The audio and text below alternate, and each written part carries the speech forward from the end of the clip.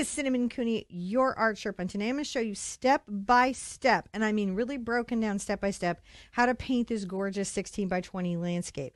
This is a road leading into an open meadow and series of fields and hills surrounded by white Cosmo. This uh, particular painting we were going to teach a bunch of times on the mic is my husband John. Hi. He helps me bring you these lessons to you uh, live, usually step by step. Um, this one we've been trying to bring to you, trying to bring to you, had to postpone, had to reschedule, had to postpone. it's been a journey getting it to you, but it's finally here and it absolutely is as promised. This is one you're going to love to have on your wall. I don't think I've ever worked so hard painting a road Mm. ever. Um, this will have traceables and mini books. Give us a little bit of time to get those on the website, but they are imminently coming out as your resource. It even got a country western song in the middle. Uh, there was, uh, I did my have made up a country and western song that was not very good in the middle of this, so you have that to look forward to. this is a big boy, and um, we definitely made some changes. This road took some twists and some turns along the way of this lesson. So uh, give yourself some time. Know that this is a bigger lesson. This is more three hoot. We're going to be covering so many techniques in this painting. It's going to be like it's like an art course right here in and of itself. So uh, there's really nothing to do but get your paint, get your brushes, and come back and let me show you how you can paint this for yourself at home. Let's go.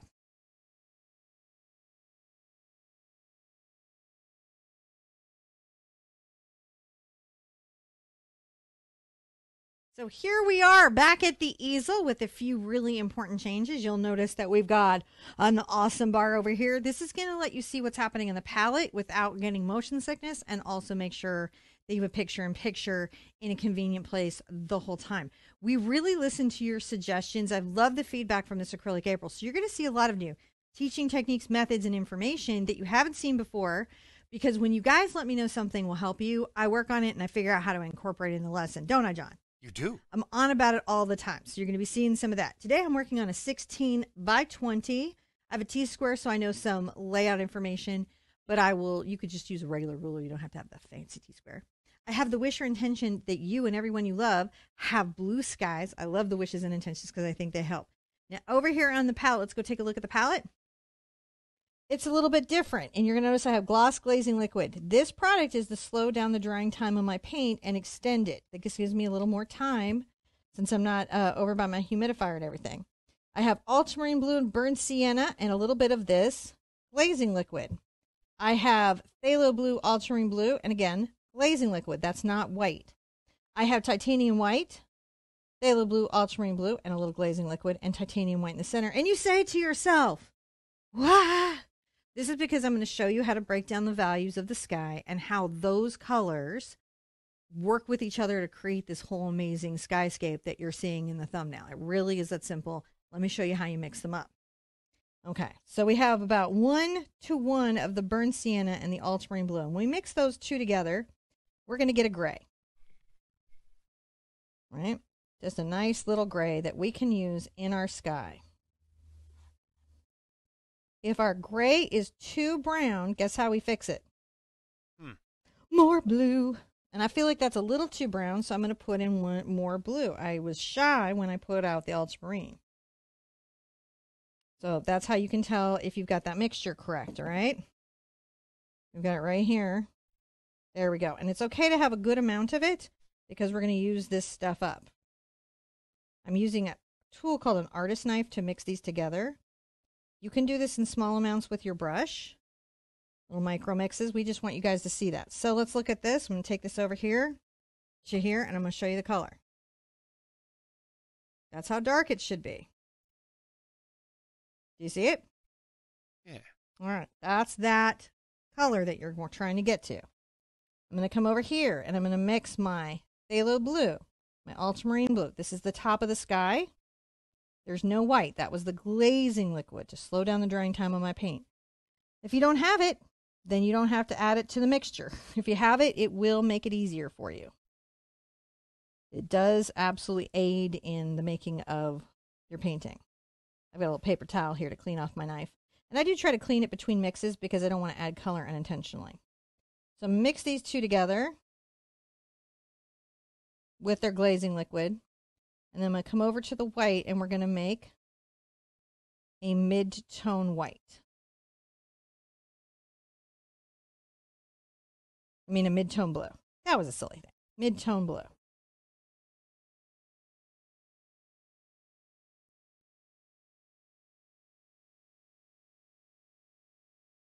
All right. Let's look at both of those up on the board. So this is our top of the sky blue.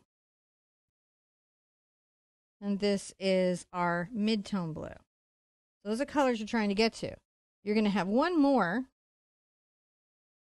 that you get into the white here. It's going to be light. And I can always put out more white on my palette if I need it, right?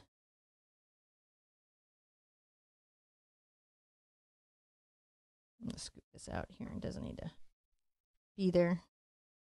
Sometimes you'll drip, drip, drip, Drip. drip. Drip, drip.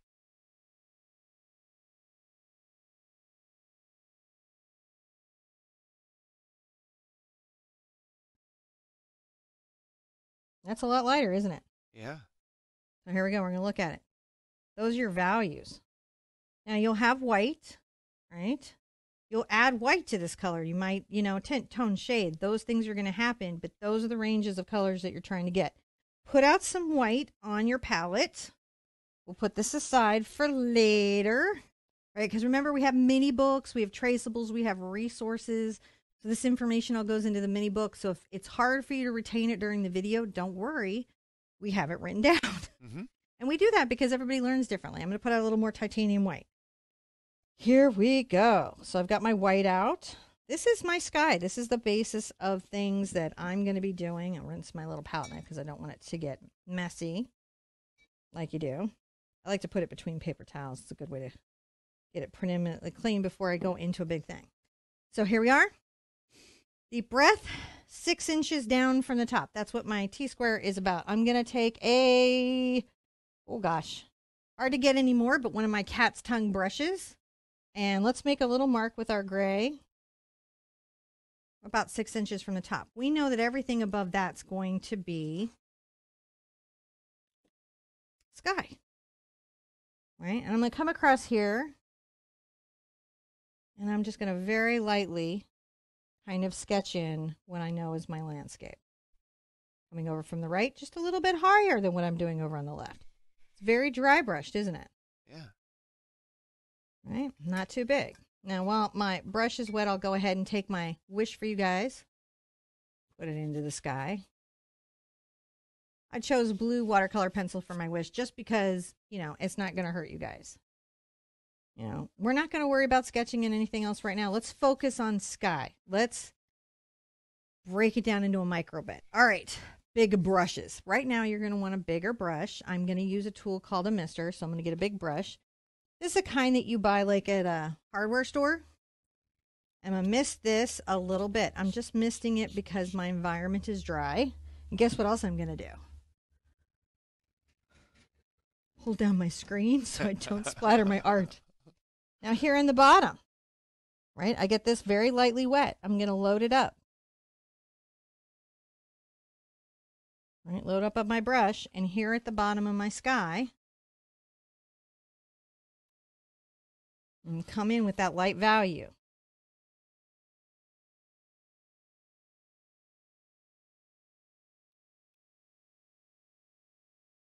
Looks pretty good.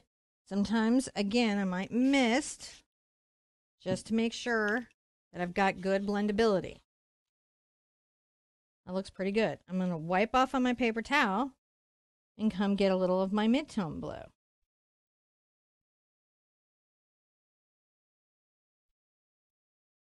Looks pretty good, right? Yeah. Take that up to the top. And come over where my light blue is and just so lightly brush. Look how lightly I'm brushing. I don't have a ton of paint on here. I'm lightly brushing. Sometimes I put a little angle on it. It's kind of a blend. I haven't even gotten a second brush for blending yet, right? Now I'm going to rinse this out a little bit and wipe it off on a towel or paper towel, right? To get the color out. Come over to my dark color. Everything's still wet. I'm at the top of my canvas with the dark color. This is my dark summer sky color. Now I can come across here and blend. If you're having any trouble getting that blend with the big brush, what do you do? You grab a dry, soft brush and you blend it. I wipe off extra paint when I'm blending. We have a little control. Look at that. If I need to get this brush wet or damp, I just use my mister. I'm showing you guys some new techniques.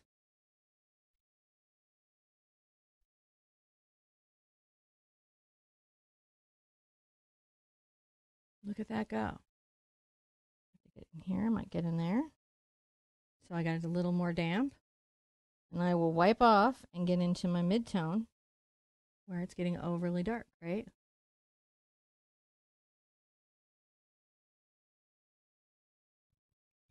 Rinse out. Wipe off. It's just damp now. So as it starts to dry, or if my brush gets overloaded, my blending brush gets overloaded with pigment, right? I'm controlling those things. Back at the base of the sky, right? This is a one inch oval mop brush. We've been using it all acrylic April. This is really kind of what they're for. And you do this until you have a beautiful glowing ombre.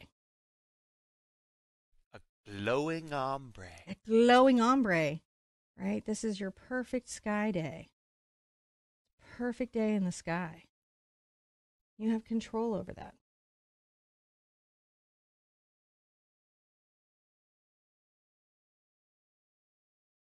As opposed to the weather.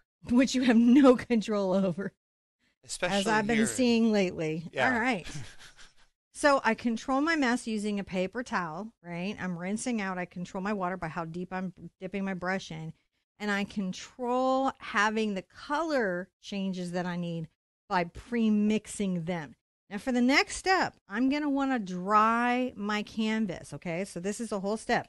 I'm going to want to rinse out any of my brushes that I used before the next step so that the paint doesn't dry on them and they stay in good condition. When we come back, I'm going to show you the next part of painting this gorgeous summer day.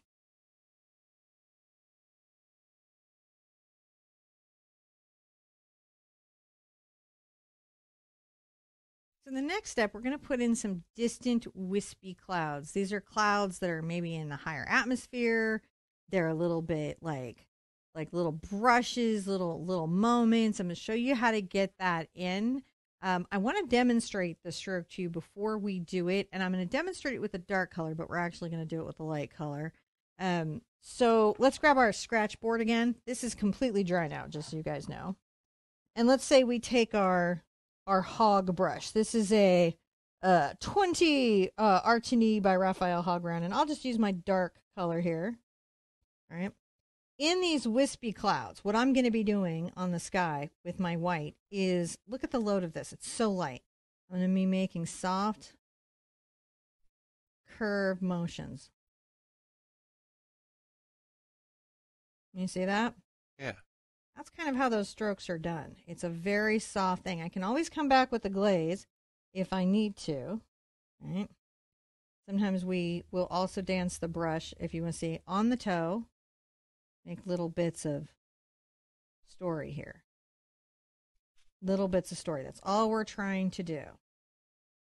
So I know with a curve.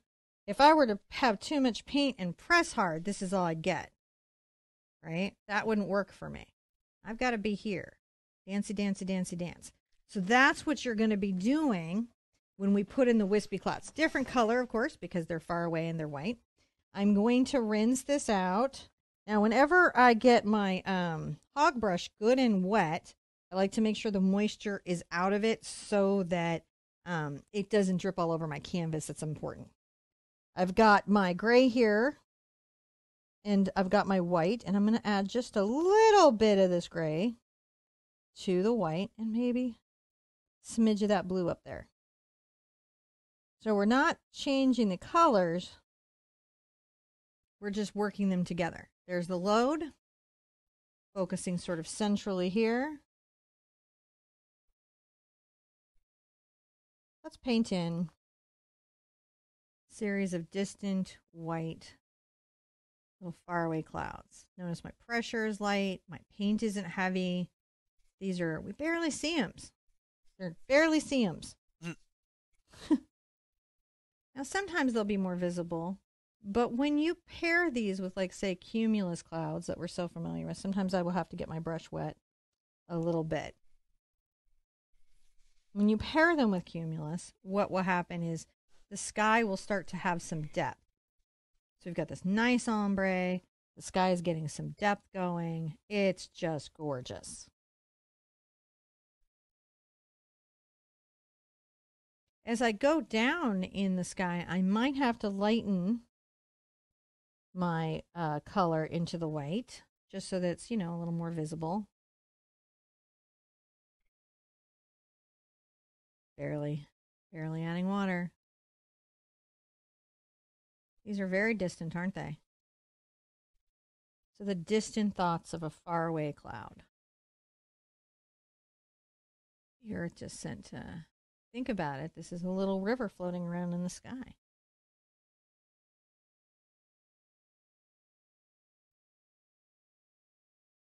Listen to the way the brush sounds on the canvas. You know, don't get too in your head if you can just Breathe in and breathe out. Press lightly and just listen to the brush dancing. Come down here like very much on the toe. Look at that, just dancey dance. Little bank. Look at us, we did a little bank. Almost into the white, you know, and just on the toe.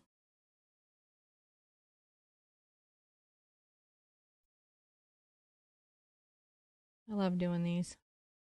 You can come over some that you already have with a brighter white because just like your cumulus, these have shading too.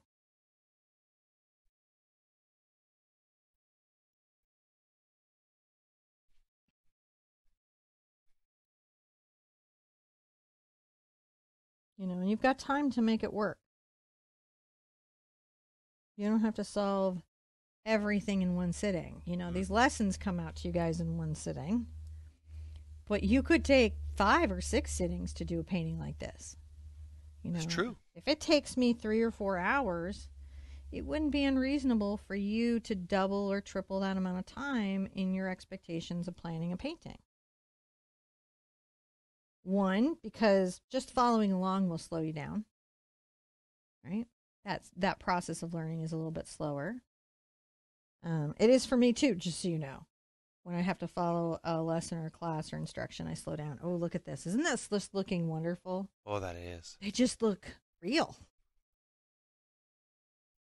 And you'll notice I use that paper towel to control my water.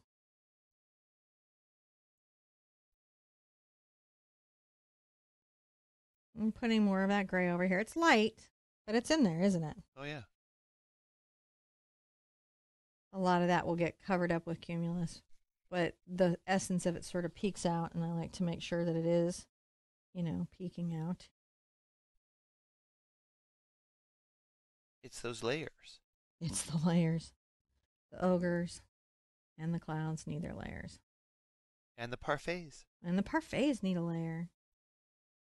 I find Everybody a parfait without layers is just, well, a cup of yogurt.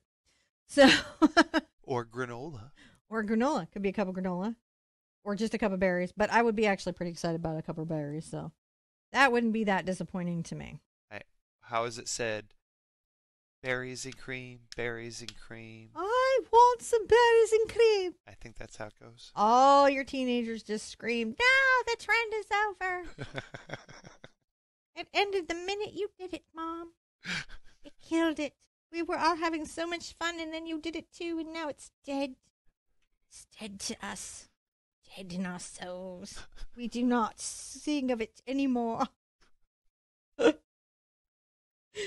How awesome it is to ruin a meme. just that's all I do to my child is I just ruin their memes.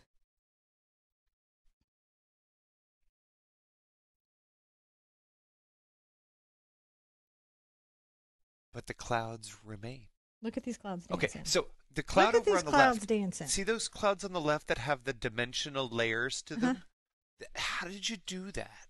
Well, you know, you come here and you add a little bit of gray, right? Get a little gray into the mix. They just instantly. It's the ha- value. When we have value, so it's the layering of the dark to light. It does. Even even these far away ones can have some value. You can come back and add a little. Because it went from just sort of a flat background to whoop, there's clouds here. There's a lot happening here now, isn't there? Just a lot. I like to rinse out every once in a while and work out my brush. Get a little bit of a, you know, I still have some, it's not white white, but, you know, I have some color in it. Dancing on the toe. Toe means this part of the brush. You know, and think about it. We, we looked at those brush strokes at the beginning, didn't we? Did. We saw them. We understand what they are. So those are little changes you guys have been talking about, like getting more into the color mix, maybe on some of those colors where we're using a lot of a color family. Notice I'm going to come down here and I kind of bank some of these clouds that are going to be behind the mountains.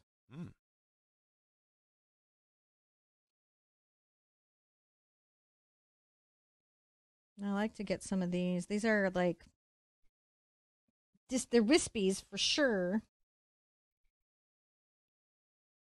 They're airy, but maybe they're a little brighter. You're not going to be sorry that you played with it, and you're not going to be sorry that you gave it your time and your attention. Don't rush it. Be mindful. Be now. well, that's such a big thing to say in such a small way. Be mindful. Just do it. Just do it. Well, all you would do to do that is just mute my volume.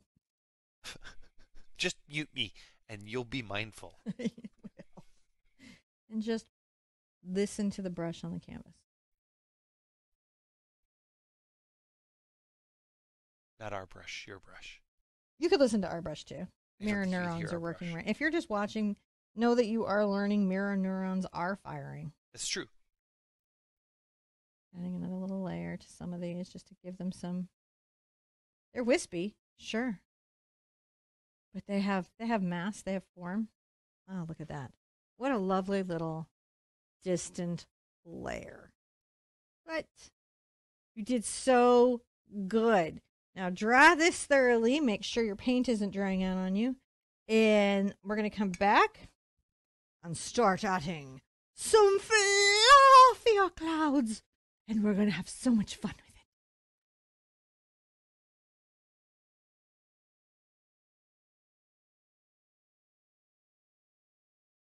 We have a bit of a lovely day started, but we want to put some more kind of fluffy, traditional clouds that what we think. But clouds aren't just cotton balls, they're not just little round shapes.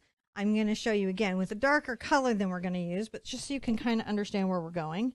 I'm going to keep heading out with this brush.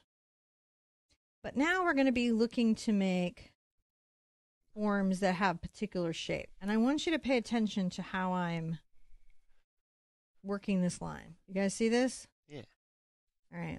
I'm not making, I'm not going circle, circle, circle. That's not what I'm doing. I'm pushing and using my brush to create the irregular, Let me see if I can peek over your left shoulder. okay, regular, I'll just stand back. Irregular little shapes. Now, on the bottoms of these, I will definitely be blending and shading, and they might work out here. We might even come in with little bits of these round. This is a number 12 select round blender by Princeton. And we may come in and work parts of the clouds with little, this little stroke? That's how light I'm working it. Barely, right? Yeah. Not a lot of moisture, not a lot going on. What are we going to be doing? Top of the cloud will be light, bottom of the cloud will be dark. When we create that, the cloud will start to take dimension, and we're going to also be having them in perspective. So they like little train tracks. You'll be seeing the bottoms of them as they go into the distance. So hopefully that puts into your mind what we're going to be doing in this step. I'm going to go ahead and get this brush clean so I can start. And I don't start with my um Oh no. Guess who came to visit? Mm. It's a Twix visit. Mm. Breaking the step. Sorry guys.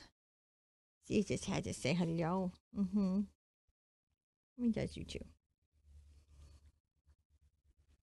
She loves her loves. She loves her loves. And she doesn't care what we're doing when it's loves time. Okay, because they're feeling jealous.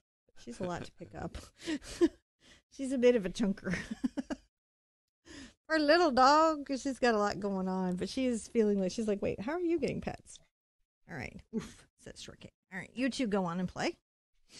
All right, back to the thing. Sometimes that happens. Sometimes your pets, you know, come in and visit. So again, I'm going to take a, oh, maybe even a little bit of my darker blue over here, and look at that kind of steely gray I'm getting. But I don't want anything that dark. Right, So i I'm going to show you where it is at. I'm in this color here. And I'm going to. You missed a. I don't know if you missed a camera switch because I Uh, picked up the thing and made a swatch. I'm going to come into here. Did you see the swatch? I think I saw it. and come in and get kind of let's start with it's not our darkest color we're going to have on the cloud and it's not our lightest color. See where we're at? Yeah. not our darkest not our lightest. Somewhere in there. Because we we'll call it our middle range of cloud. Mid swatch. mid swatch and we're going to say begin in the distance here. A far away little little embankment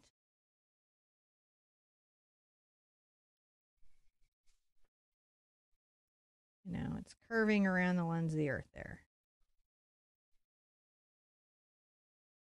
so we see it in the distance Wait, You're saying the Earth is round? i am claiming that the earth is round i'm not claiming it i'm just acknowledging the facts Gravity works. I didn't prove it. I just took, you know, earth based science in school and remembered what they told me. You can see I'm just using this brush to push up little shapes, aren't I? Because these banks are layered in the way that they are, right? We almost have to capture one top line, you know, and then shade through all the rest of the lines. Because there isn't really any blue sky that's going to show through here. Hmm. But the blue will tone the cloud. Or is it? Is that right, tone? Well, it definitely is because where the paint is, you know, say transparent, and I'm just kind of filling this in, right? And we'll just push out a little bit here as we push out. That looks pretty good. You know, if I had darker gray, you know, perhaps there'd be a cloud bottom here.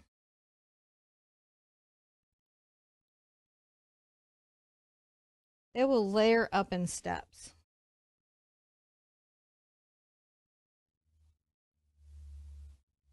So I can add a little bit of the shadow of a bottom of a cloud there.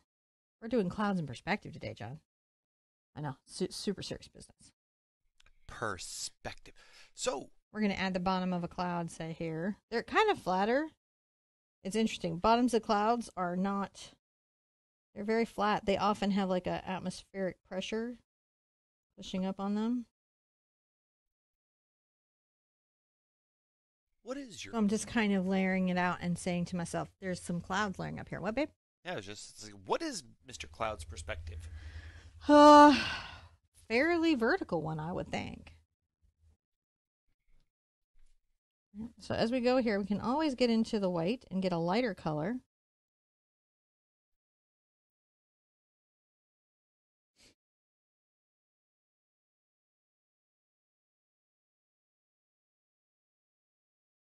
We just kind of work in between here. And this is, you know, maybe coming out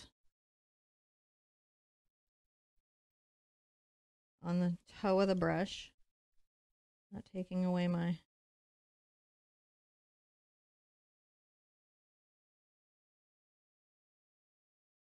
taking away anything from the clouds that are there. I might even come here and add a little highlight there along that atmosphere. So dark, dark, dark, dark, dark.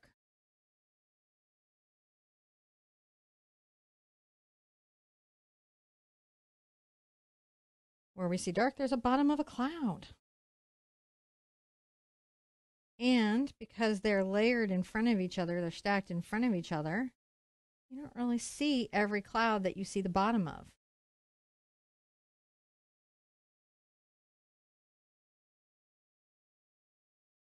And then we also have some really cool sort of uh, forward clouds that we'll be putting in, but we've got to get these guys on. Back into our dark, dark. And I can make it darker, darker, darker, can I? Just by adding more of the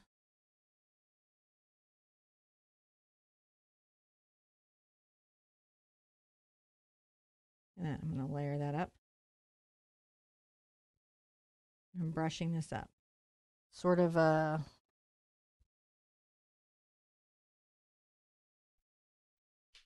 little brush stroke there. See, it's like flicking up. Yeah. I'm liking the scratch paper. I hope it explains things. I think it does. I think it's helpful. Imagine we will be adding them to the mini books.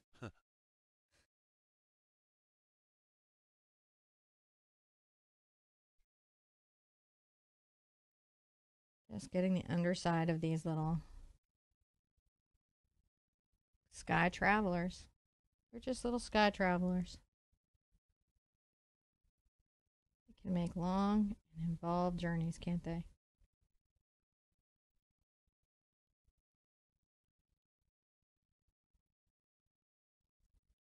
Just working the dark shadows here. Sometimes we even have like little puffs that come up. Yeah. Pretty dark too. And that's a interesting thing to have to sort of work with. Is the dark in the cloud. Oh, the cloud has so much shadow. It gives so much shade. Actually, on some landscapes, if you do them big sky enough, there'll be shadows on the ground you've got to paint. That's kind of cool. Yeah. If you're like, I'm painting the American and Mm, sometimes Carpathian mountains. These things are likely true.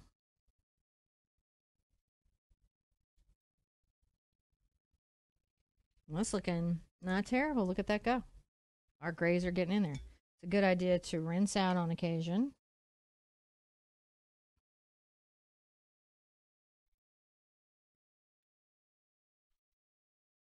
I'm going to get into my light color here.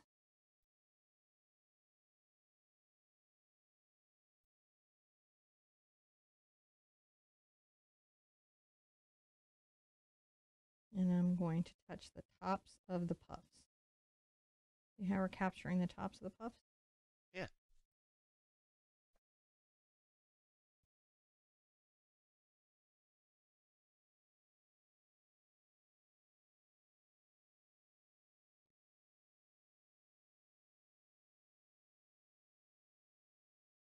That's looking pretty good.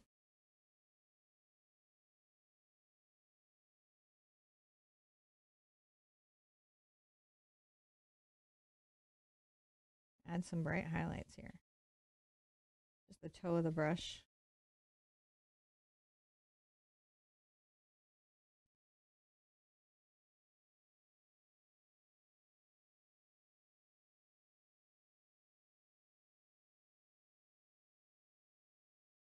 You can work the gray back in. Oh, goodness, look at that go. Painting the sky today. We've got it. We know what we're doing. Hopefully. All right. Sometimes I will, even though I'm on a wet palette, even mist my paint just to make sure that I'm good on my flow. Let's come in here and add some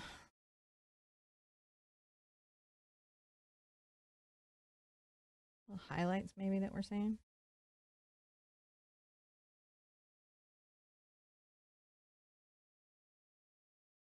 Not everything on every cloud, right?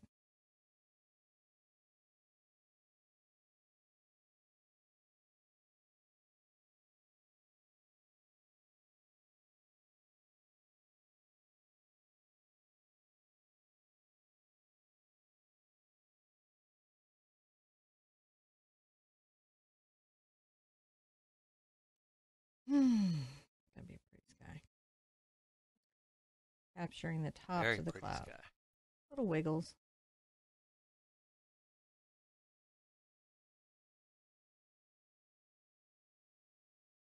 You know, and sometimes I will switch over on these bigger clouds. Let me kind of get this to the number 12 Princeton Round Blender.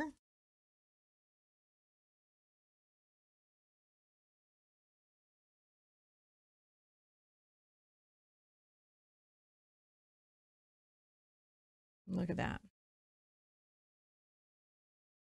A little bit of light color at the top. Look at the load. It's not heavy.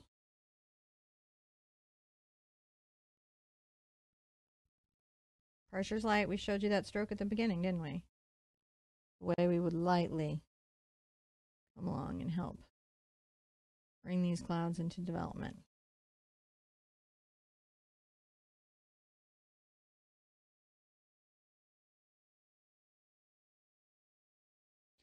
We're not painting little round cotton balls. We could.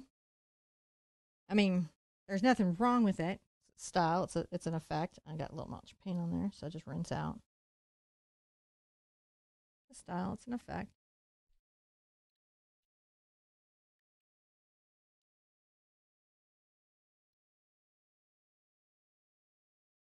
What's great about these brushes is they kind of put out paint and blend at the same time. Got to control my paint and my water. And come back in and blend that there. Look at that. So cloud like. What a tool. I wish I'd known about these tools early, early in my painting days. We all learn. We never stop learning.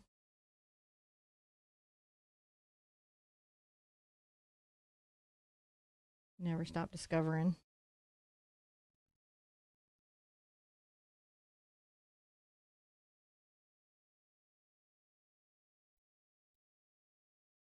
Always controlling the water though.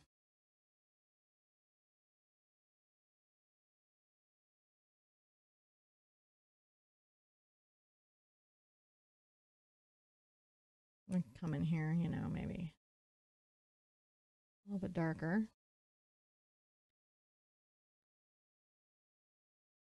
Make sure the shading is really spot on.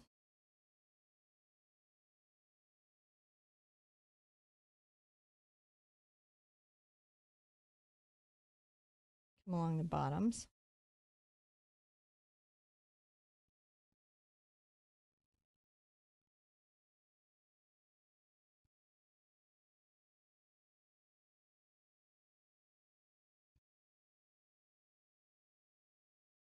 Okay, we're just finding the bottoms of the clouds, aren't we? Yeah. We pick them out and we say, "Oh, you're here." And they say, "Am I? Am I really? I'm not sure. I'm sure. I got you." I have to wipe out on a paper towel to control my paint. That's no problem. I can do that. Just mm. doing the number 12 blender. Yeah. That's all I'm doing.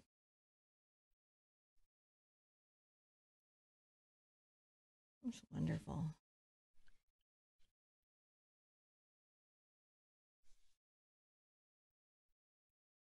Maybe put some dark shadows back in there. In the puffs. You can do that. Didn't Yeah. know? Put some dark shadows in the puffs. And really, really.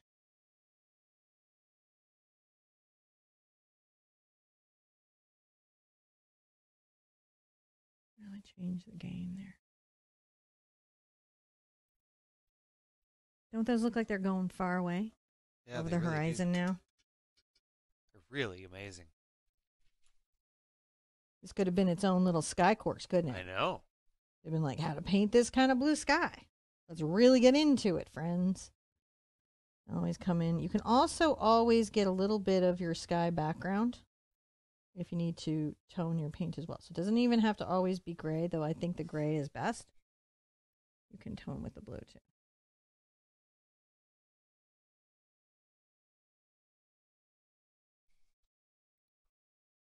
Find little tops.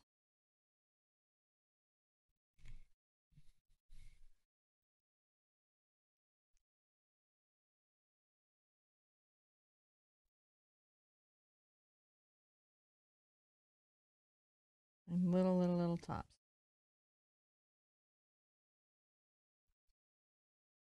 I like doing big paintings on occasion with you guys. Just to show you that you can. Yeah. Just to show you that it's in you. It is in you.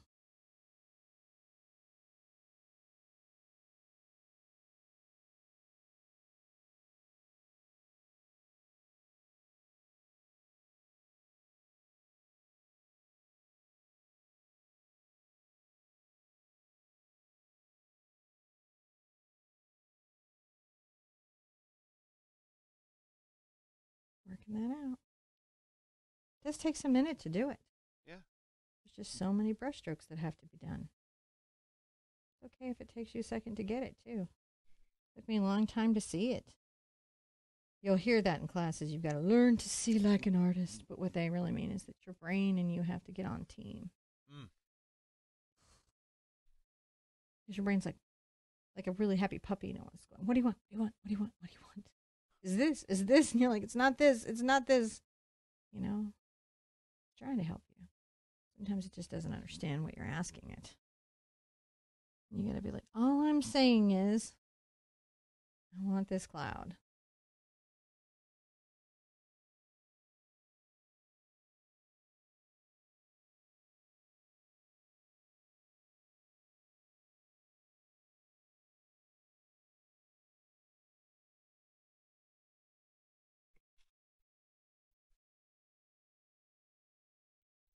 Look at us going through. Just fun and puffs. Now, what I often do is I rinse this out and then, you know, I can come back with it clean and damp and look, blend it.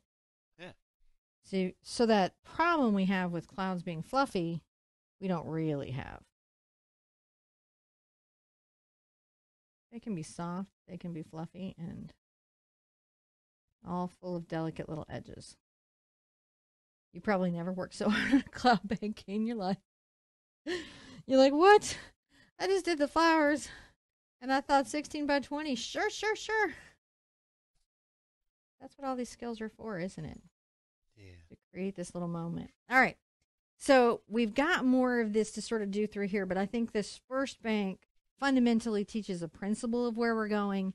And because we've got a nice big uh, series of clouds, one that's going to kind of pop here and present here and a couple places through here, this is a good place to let this be. We may come back and add some highlights to it. We may lighten it if we feel like, oh, that's maybe a little dark. It depends on as we go.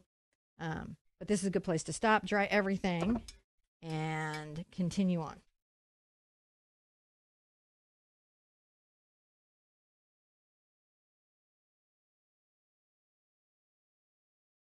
So we're going to continue on with our big sky journey. And I want to tell you a couple things about brushes before we go forward and kind of do the closer, more subject oriented fluffy clouds. So these are the Artini brushes, right? These are the hogs. And this is a number 12 all the way up to, I think I've been working with the number 20.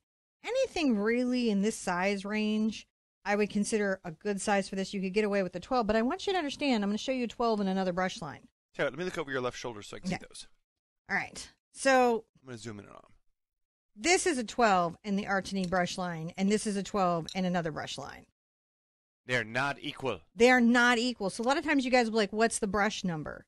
And I'm not picking on you when I say sometimes that's not helpful information. Look for uh, relative size. So in relative size, any of these brush numbers ranging from 16 to 18 to 20 are good because look, they're about the width of a finger. Yeah. You Not a your finger thumb, there, but yeah. a finger. Yeah. Right? Whereas the bigger brushes might get on bigger. And so I will tell you the number and the make of the brush, but I want you to be a smart artist when you're out in the world and go, this is a 12, but it's the size of my wrist. And remember that brush Mm. numbers are very emotional. They're, they're just numbered emotionally. They're very rarely numbered based on millimeters or something that would be very practical for you. So that's a good thing to keep in mind. I'm going to continue telling you my brush numbers. I just want you to know that as we go because that's a question. I should make a whole video about that. So I'm not continually re announcing it. Mm. you know. Oh, I'll grab this one. This one is kind of uh, open and messy. Uh, this is my number 20. You can see this is a well used brush, right? Yeah. We have little hairs that are starting to come out. It definitely needs some sizing in it. That's a reshaper. I'm going to get it wet. And I'm going to be thinking about some of the bigger, more focal clouds. I'm not going to finish these until I know where my big boys are. Mm. And that's really just because there's no point in putting a whole bunch of detail if I'm going to paint over it. And I'm going to start with my gray. I'm going to get a little bit of my blue into my gray. And if you remember, this is burnt sienna and ultramarine blue, and over here is ultramarine blue and phthalo blue. I'm just getting a bit more blue gray here. That's all I'm doing. More blue gray. I'm going to come here and I do believe I want to layer a little bit into this with the bottom of this cloud. And I'm going to bring it in kind of at an angle coming from the left hand side. This is just the bottom. And I'm thinking about this cloud as it comes forward. Because we see a lot of its bottom, right? So it's Mhm. closer to us. We see more of its bottom. That's happening. This one will come off the top of our surface. And I'm going to use that little irregular little cloud wiggle to sort of talk about what I think the overall contour of it is. And we'll continue it out to here. So I'll get some more white on my brush. Maybe a little more of that gray gray in it. And I will, for the moment, sort of fill in this cloud space. Number 20 Artini Hog brush. But we know more about brush sizes now, so that's not going to throw us at the uh, at the art store. All right. Dark, dark, dark through here. And that's just because this cloud is kind of in perspective and we see more of its underneath than we might expect. Come a little bit darker from the backside. Kind of blending in. And then it's up here. It's not quite as fluffy. Maybe we'll make a little upward fluff in the gray. Kind of thinking about its little forward face. Blends into this. Notice these are little curls like we talked about, those little curl strokes. I'm just making a little puff shape. I'm just thinking about it. You can have it dry for a second. I have more to put in. I'm Yeah. going to wipe off my brush on my paper towel and load up some more white, a little of the gray in it. Let's come here and put, let's think about somebody that might be here, kind of coming this way. This right here is my glazing blending medium. It's not more white. So see, that's what makes my paint transparent and blend well. So it looks like white is not white. Come out here. We'll just make a little little thoughtful cloud over here.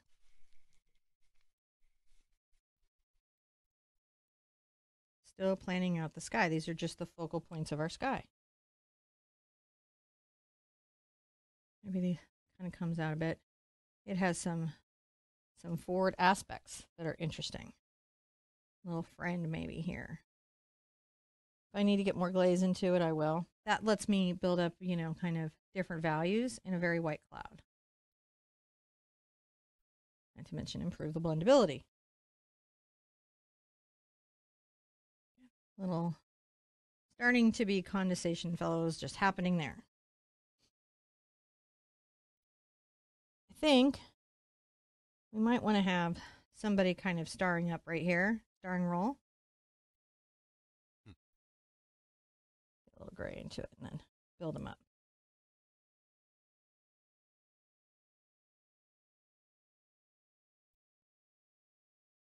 This is a more forward cloud.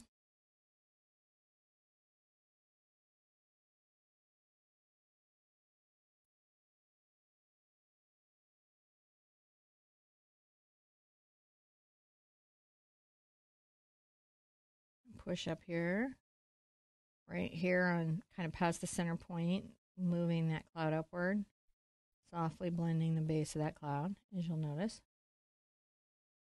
Backward. That's a nice little kind of built up cloud.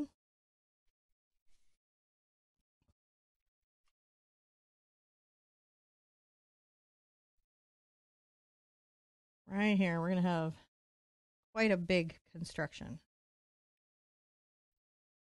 Of a cloud.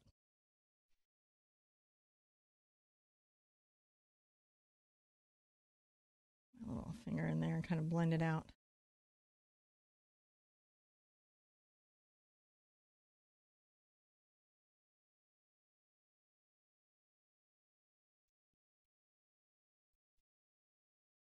hair. Pull that off.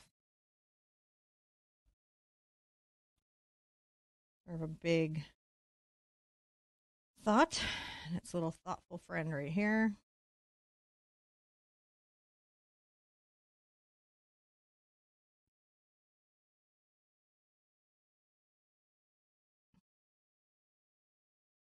These are some that come forward.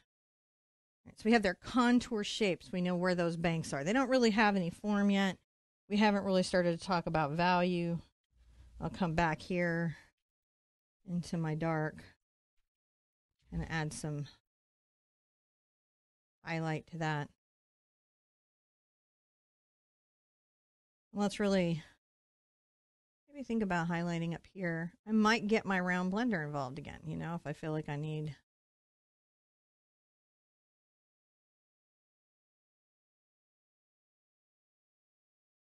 Just working the toe of the brush.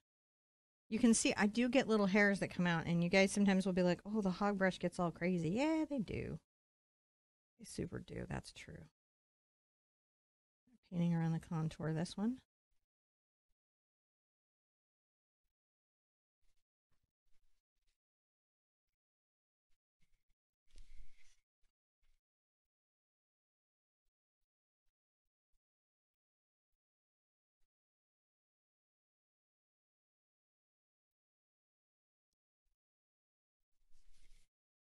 Get a little more glazing medium on there.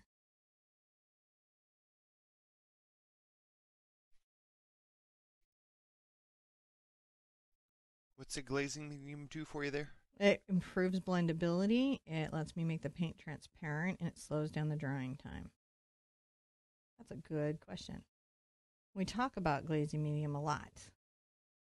You know, if you just came in, we talk about it a lot during the show, but we'll talk about it a lot just generally. I'm coming back with a little bit of gray.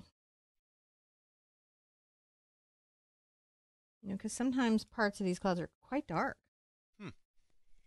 You know, they're they're they're in shadow and they break a lot of light and they don't really show what's behind them. wipe off.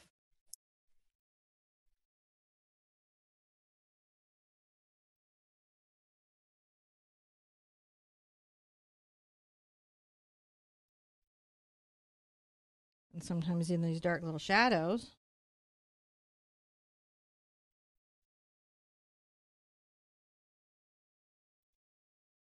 you've got to put those little light moments. Maybe this right here is a, a little light against this shadow. See how we're doing? Mm-hmm. And we're back into the cloud from earlier.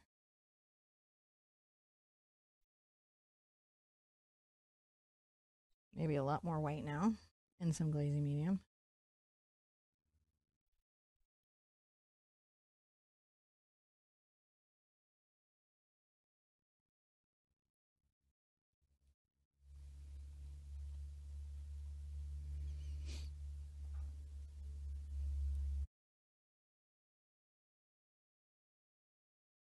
use zinc and some other fun whites too in landscapes what can happen is that you get these uh zinc is very naturally transparent. And we don't on this one but like if you're thinking about like what is that white for? It's for this kind of techniques where you have lots of transparent layers that are building up. Mm. i'm Wow, just finding a looking really highlight cool. right here. Highlight at the front of the bank. When you get it back from a little bit, it looks pretty amazing. right? You get a little distance. And that's why you have to stand back from your work guys. It's because sometimes you cannot see the work when you're too in the work. Get into my darker values and you know, just make sure that that shading is present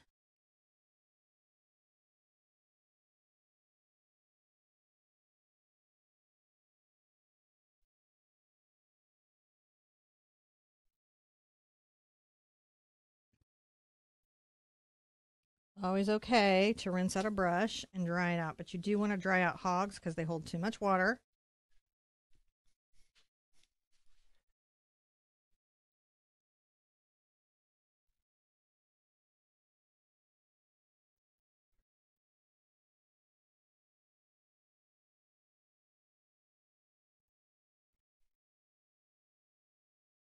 Just getting some lighter colors between the shelving.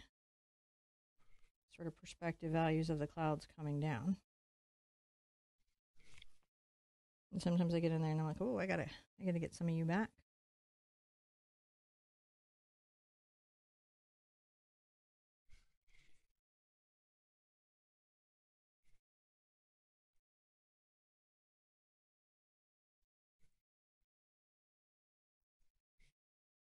Kind of creating that stairs of shadow.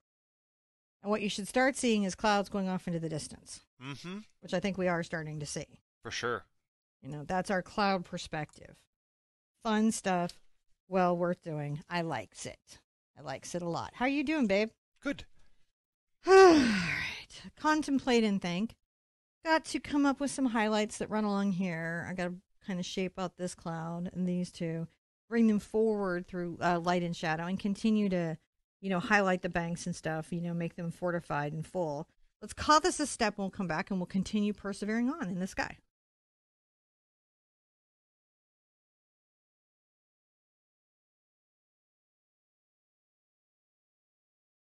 So let's continue on putting in sky. We have so much sky to do. Let's keep going sky. I'm going to switch to my round blender, my number 12 round blender. I'm going to get it slightly damp and kind of wipe out the extra. And I'm going to begin to highlight my clouds. It's okay if I have some glazing medium, but let's start creating some space and shape to clouds. I'm making those little circular half they're not total circles, they're like a little a little comma, right? Huh. Where we're finding the tops of things. Now, I'm going to make a forward little grip here. Notice the little kind of I'm going to do it slow motion. I don't know if you can get in it. This is sort of the stroke.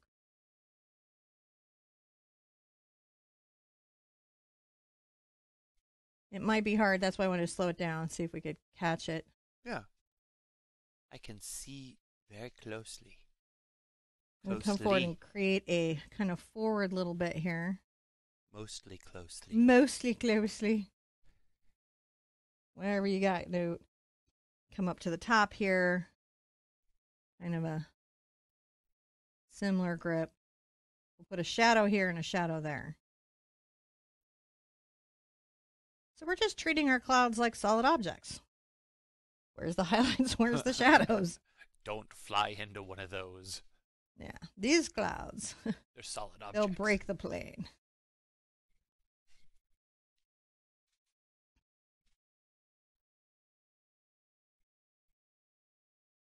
Glaze back over.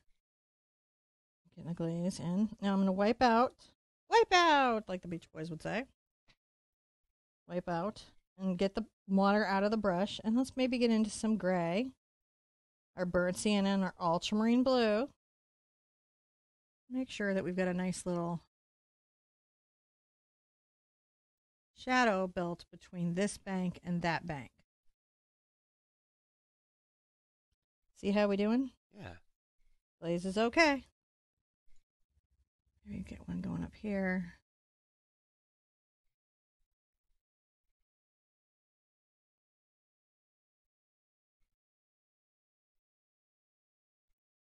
Okay, I see some underneath you.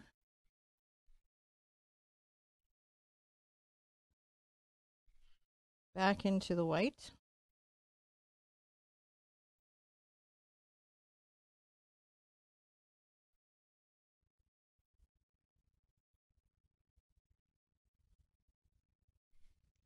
So we're bringing that cloud into three dimensions. It isn't a piece of paper that's floating across the sky. And that's sometimes what we're trying to prevent is that feeling of pieces of paper floating across the sky. These have sides, tops, bottoms. They're they're round. They are spatial. Um, sometimes it can help if you uh, practice uh, perspective skills where you do the clouds as little cubes going through the sky, just to help you see it. You know, sometimes it can be super hard to see. I'm gonna come here and just make sure that I've got nice shading.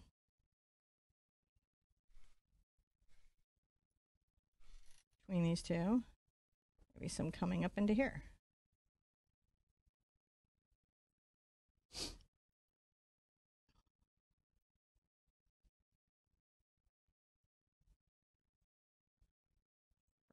In, you're like, man, I'm really like thinking about these clouds. You know, Clouds require thought. they do when you're stopped at a traffic light. Really take a look. I do. Take a deep look. I keep my sunroof open and look at the clouds.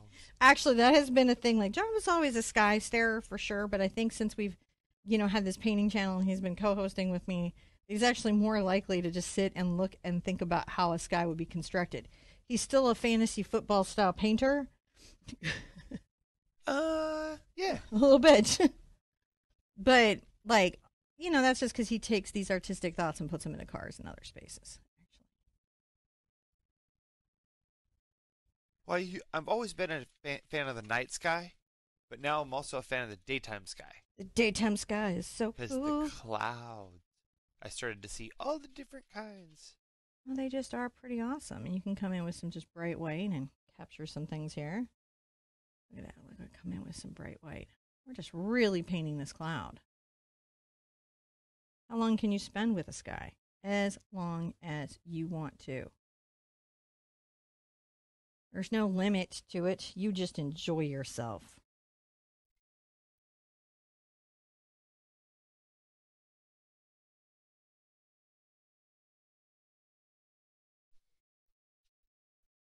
Making sure that these have a little bit of shading.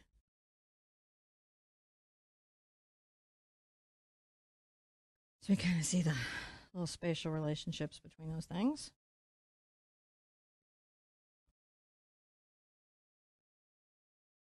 All right, a little more white. Listening to the little dogs play in the background.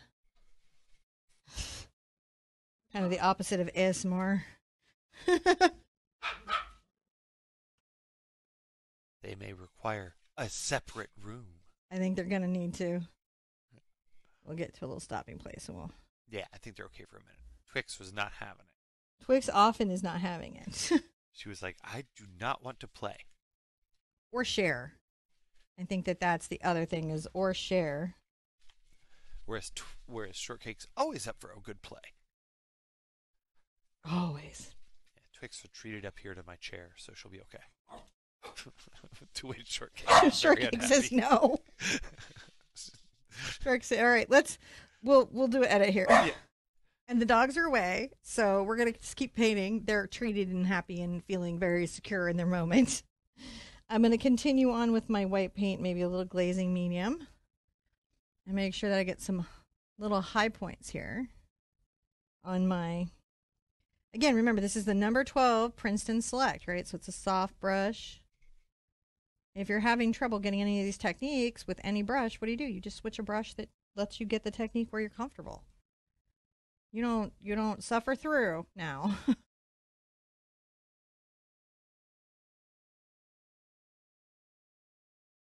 right, we want to make sure that your experiences are enjoyable. Sometimes these brushes wear down more round as you go, right? And you may find that you have to do detail work with another brush and keep these for blending because if you love them as much as I do, you're going to get a lot out of them. And I love them.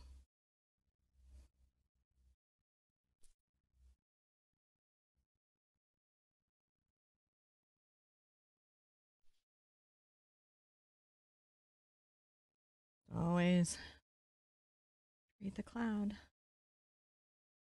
like the beautiful subject that it is.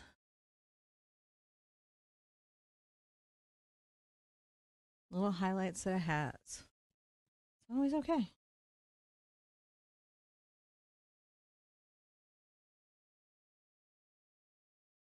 Glazing medium just so everything stays nice. And let's come in here and be like, oh, pretty sure. Get wet, wipe off. So that was a little thicker than I intended to apply, but look what I can do. Come back with a damp brush. Man, it's like it was on purpose, isn't it? Yeah. And so that's the thing. Don't panic ever in what you're doing. You're okay. You're clouds. You know, kind of maybe give an updraft. Maybe that's catching the end of that cloud a little bit. It happens, you know? Yes. Little wind current comes up and chases it off.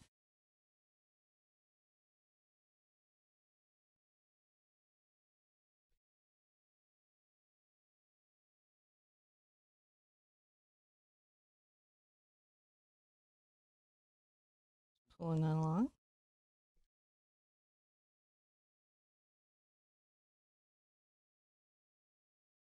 Sometimes uh, John will sometimes give me directions if I'm in the way of the camera. You don't want my head or body in, in the way of what you're looking at. It does obstruct the view. So if you hear John, he's just trying to help me like not be in the way of the camera. That is for you guys. I am not being picked on in any way. you just reminded me of so I married an axe murderer. Remember his Really? son? What? Do you remember the kid? Heath, head. Down! My head is so big. It's like a planetoid. So if my head's being a planetoid, definitely let me know. I'm up here and make sure that this is a little Ah, the inappropriate humor of the 90s. miss it. Some of it I miss. Some of it I'm kind of glad is gone.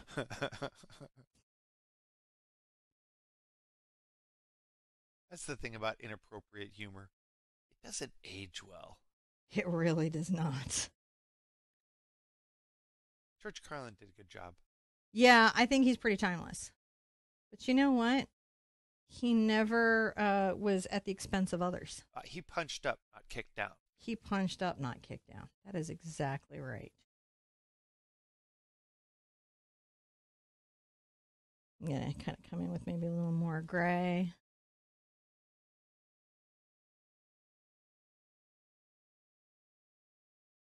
Give this a little dimensionality.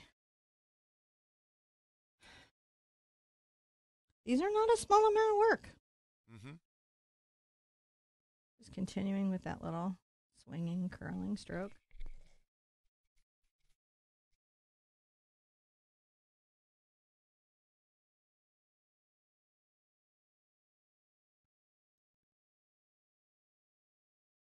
Loving it. And step back a little bit, and I'm going to get a view and go, how do I like it? I like it. It's okay. It's getting there. It's all right. Yeah. Yeah. Sometimes you know you gotta just get back and and look at things just a little bit. Put a little blue into that. That's a nice blue. Yeah. Sometimes I like to get a little of the mid-range blue. Soften things out a bit. See how that does? It's really cool. Really cool sky. We're I getting don't- there. I don't just mean that because it's got a. Because I'm your blue. wife and we have a YouTube channel and we're hoping people like, comment, and subscribe. And if I'm not incorrect, this is a uh, subjectively cool sky. I mean, you know what? YouTube will tell us, won't it? No, no, I mean like you used cool colors. YouTube will come by and be like, "These are the seven reasons why I love your sky," or not love your sky. I know, I Sometimes think- I think you're still thinking metaphorically. So, are are these cool blues or warm blues? these are, um, well, it kind of ranges through cool and warm. We're playing cool and warm blues against each other. Oh. I meant subjectively, like I like it, you painted it well, or no, No, no, I did too. But I mean, I was trying. I like, and then I was like, well, actually, I thought that you used cool colors, except for the clouds. Those seemed warm. Clouds are cool. Clouds aren't warm. This area here is a warm blue. This starts to cool down. These Oh. are definitely cool and neutralized. See, I don't know, but uh, like, that's why I asked. I love that you asked. Because you know what's happening right now? No. Somebody in the premiere is asking. So that's what's that's what's the big deal. So we're still do live. I know this is kind of weird. Um, it's just we had a lot going on, and we did not want to defer your painting again. That Well- just seemed mean. There's an event going on. There's this event going on, and we were there, and so we just didn't want to have all of that come in and disrupt. I just added some blue to that, you know, just creating that sort of And if you're interested in it. events that we might host in the future, you should email. you well, no, you just go to our website, theartsherpa.com, and then go to events, and then it'll say what events are going on. Yeah, we're already talking about the next one with my mom. The next and the next two or three that we're gonna post up that'll be slightly smaller. A little more, a little more boutiquey. Well, they'll be more intimate I think I want to pull this down a little lower. in the natural beauty of Pennsylvania. That's Yeah. short for middle of nowhere, yo. But there's a lot of waterfalls and trees. there we go. I'm just coming back with a little bit of white and, you know, creating a little space where this was maybe a little more seen. So that's what we're always doing. We're just filling in the sky.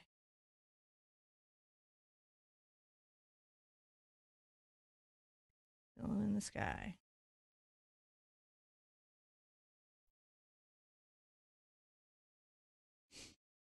Just going. Now I kind of want to, um, again, whoop, dropped a brush. Pick up another one. Get away! Got away. I'll just grab another one. Same brush. I'm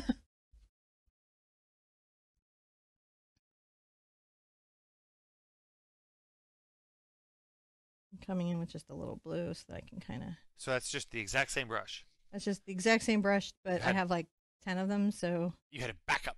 I had backups. Yeah, I do. I kind of keep backups. It's uh, it's a true true story.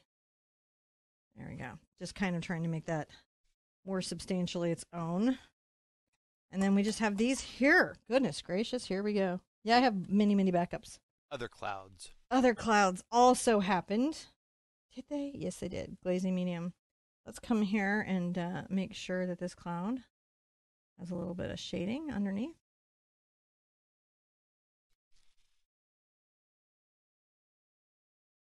And uh,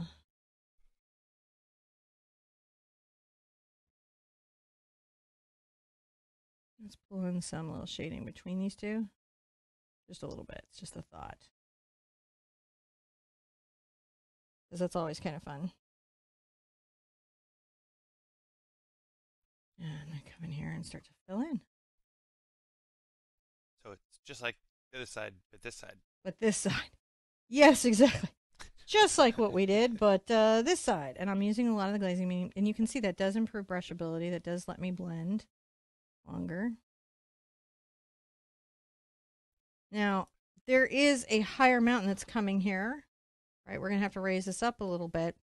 And so these will really tuck behind that. Don't so don't be too stressed here. It's a great place for you to be like, "All right, I'm going to relax a little." Nope. I think I've got it. While you're talking to them about all the cloud stuff, Mm. some of the things that I have observed from my armchair painting Adding a highlight up Layer. here. Yes. is like, you know, the quarterback who's never played. Right. Yes. Um, it seems that non-repeating clouds is the key to a good sky. One hopes like that's what one of the things I always try to do is not clone my clouds. Clown clone. I you know we all tend to a little, but like that's the goal, and that's why sometimes using uh, references can be so helpful because your brain's going to want to repeat patterns. It just is. It's gonna make the want to make the cartoon floof floof floof cloud. Floof, floof, floof. It is. It just wants to do it, and you can't blame it. It's just doing its thing. It doesn't mean to be that way. It's gonna be the like the Snoopy three descending poofs on the left, and then a Yeah. flat bottom. That's one I always make. Bloop bloop bloop, and then it's like, look, it's a cloud. It's because clouds often do have flat bottoms. That's the atmosphere pushing up on the base of the clouds, and we're seeing them in perspective over the, you know, so there's this sort of thing happening. Yeah, there's a huge difference between your cloud and my cloud, though. Mine could go in a Peanuts cartoon much more than it could go in a painting like this. But You that's just, okay. You just go where you go. Now I'm going to get a little of my very light sky and some more white. I'm going to come here and just make sure that we're clear underneath here. Clear. See, I have put no experience points into painting. you have not, but you still sometimes paint because of the cars. This is true. So we're getting there, right? We're we're working them out. We're thinking about them. I'm rinsing out fairly often and uh, continuing to build. You know what I've got. Let's come up here and give this nice column some shape. So I'm trying to pull banks that are forward versus banks that are past. That was my mom texting me to say, I'm almost over here, but no, it's my rings saying, You Huh. stood up. My rings are always very proud on me on easel day. they just You think I'm doing so good. You've done all the standing you need to do. They're like, goodness gracious. You're a some now. standing hero now. Yeah. Trying to get some little gray going. And I can get a little more blue into it, you know, and just.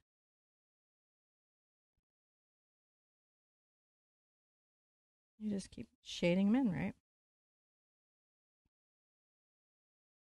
We're just shading things in, refining their range.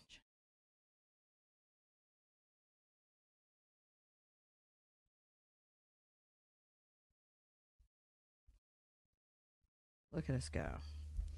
We're getting through this. And, you know, this is going to create a very nice environment for our landscape and our flowers. This feels like a place flowers would thrive, doesn't it?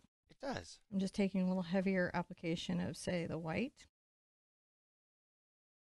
Kind of finding little peaks.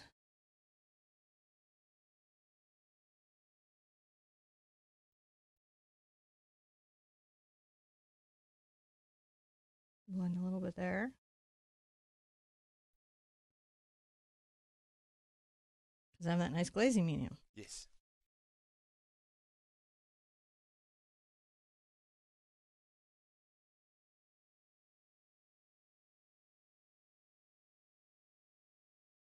Glazing medium is here, so I can blend this lighter color in to the lower part of the bank.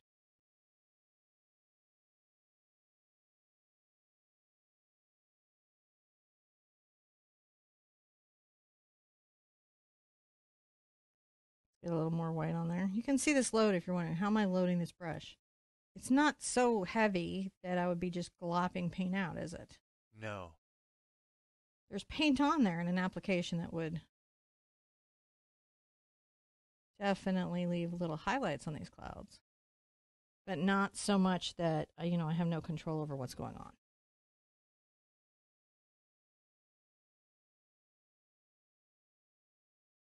These are a little like uh, my original cloud brushes, but my original cloud brushes were really stiff, which is great for dry brushing, but not fantastic for blending. Mm.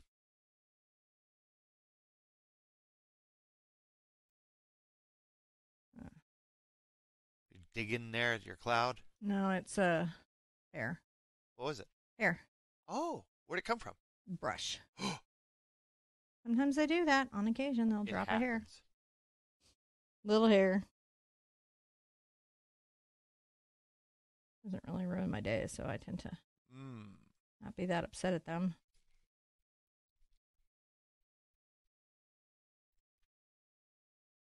Interesting. It's becoming a very interesting fellow. This Yes, it is.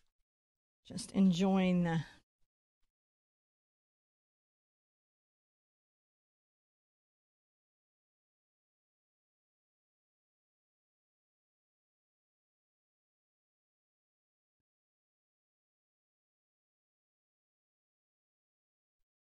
love kind of pulling these in and finding their little moments. The little moments that shape out the cloud. Yeah. Come here and give a little moment to here. Now it's in a more lit area.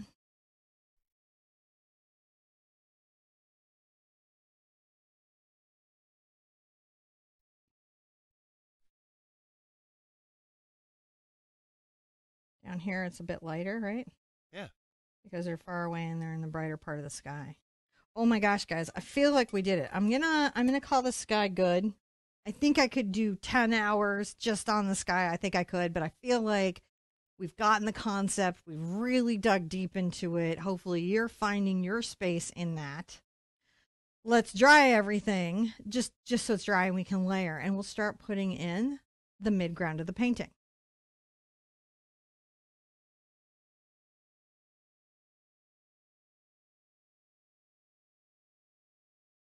So now we're going to start putting in some of the landscape elements. I'm going to pull my T-square ruler out. That way, if you are painting along at home on a 16 by 20 canvas, you kind of have a sense of where things are. If you're painting this smaller, you know, we've got that traceable, but you would just sort of scale it in the same way. That's how we sort of size up and size down. Objects are relationally the same, uh, no matter a big or small, right? So, like in relationship to the space on the canvas, you know, the hill might be a third up from the top. So that's sort of way of thinking about it. But this particular case, we're going to say, um, let's say the top of our hill. I'm going to grab a filbert here.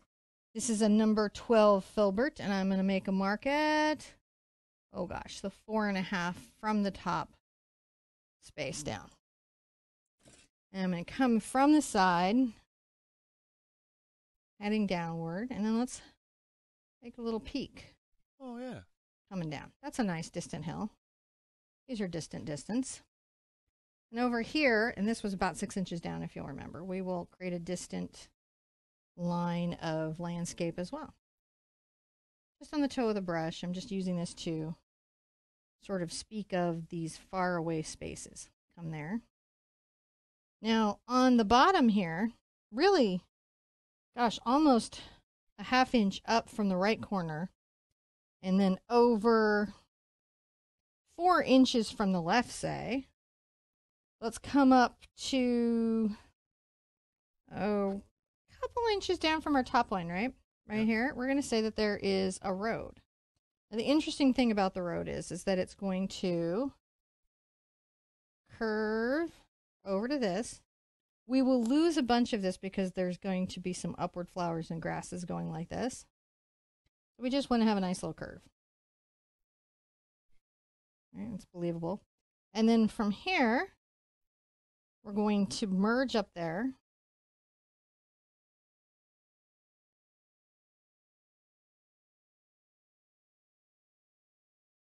Just getting a nice little sketch going on it.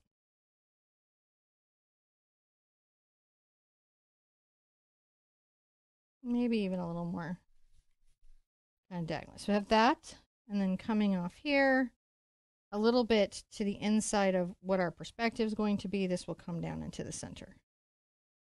So that'll be our dirt road going away. And I know I'm going to have some mid range mountains, right? They're sort of in front of these little fellows, and I'm going to do with this all with just light burnt sienna. Maybe they come down and just have a little a little force range there because that's the sort of mid range. And then our field really starts in this space, right? Where we're going to start seeing the field, which is why we will have some of that road into perspective and it vanishes in the distance. And then this might kind of curve out a little bit that way. So that's the basic zones of our landscape. Now, if you're doing a traceable, this is a great place to use that. You don't have to use a number 12 filbert. I just liked sketching with it. It was big and it kind of let me make in some broad strokes. So this step I'm going to simplify and say get this in Hmm. where you're happy with it. When we come back, we're going to start painting in the distant landscape.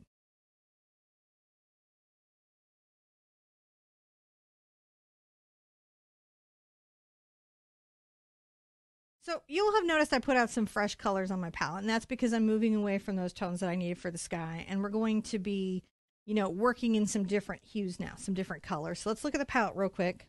Mars black, yellow ochre. You can also find this called yellow oxide. Either one, they're one to one, the same, same. There's different makeup of them, but they're the same color. Burn sienna, ultramarine blue, cad yellow medium, phthalo green, cad red medium, and titanium white.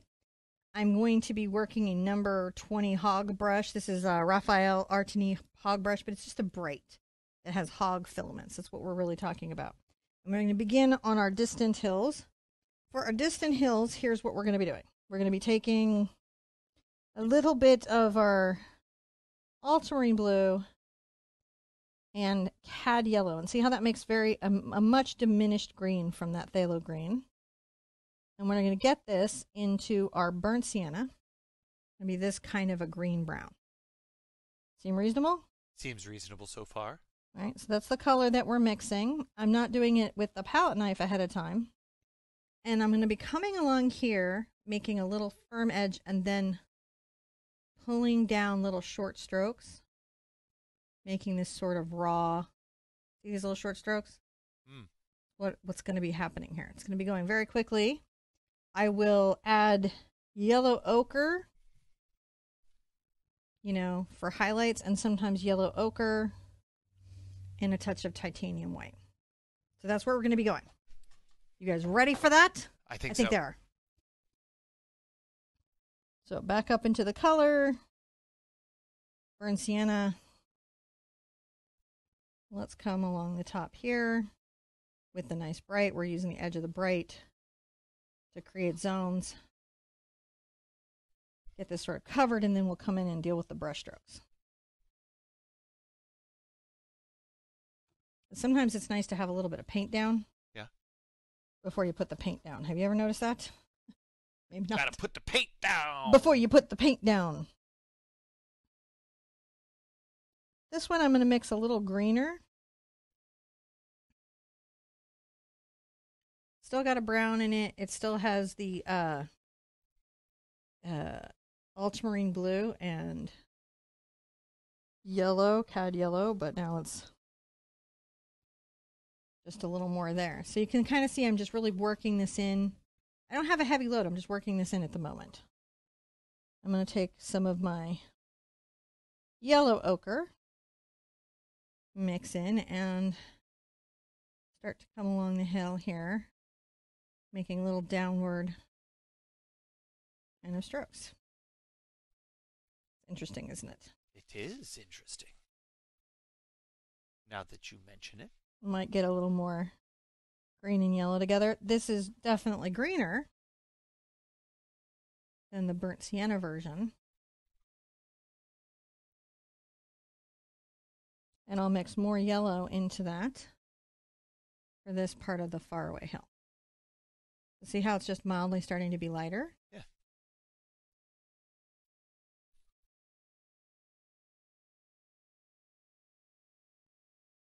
Get a little more ultramarine blue and burnt sienna.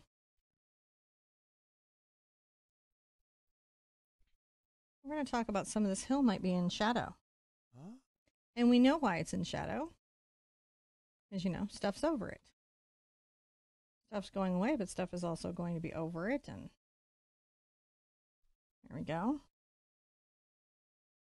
Coming forward, I'm going to add more burnt sienna.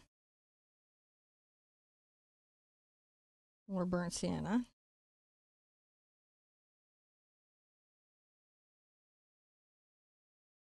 I need to get a smidge of water, I will. I don't get too much water though, Mm.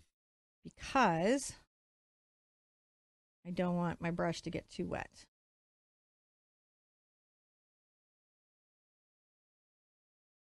So I do work it in at first, and then I come in and make that short, choppy brush stroke.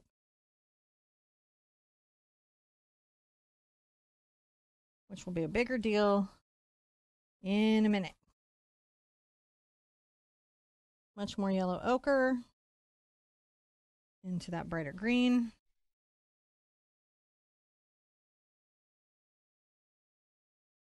So we're just starting to get these distant little values.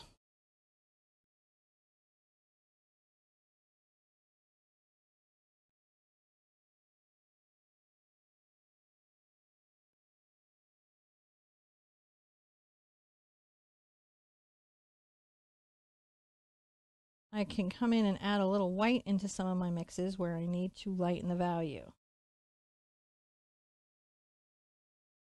Want it to be greener and lighter. White's the way to go.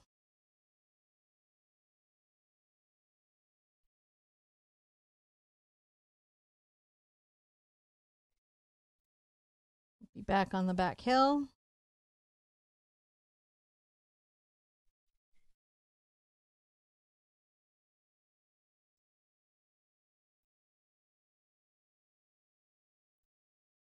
And there's just definitely some highlighting on this hill back here.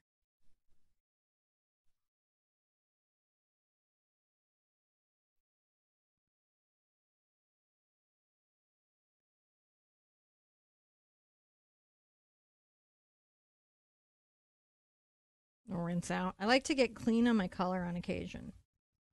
Right? So what I have is still a lot of canvas showing through, and I'm starting to get some value worked out on these different hills, some different hue, but you really, really, really want to let it layer up. It's dry over here. I can work the area over here because I want to do layer on in my dry space.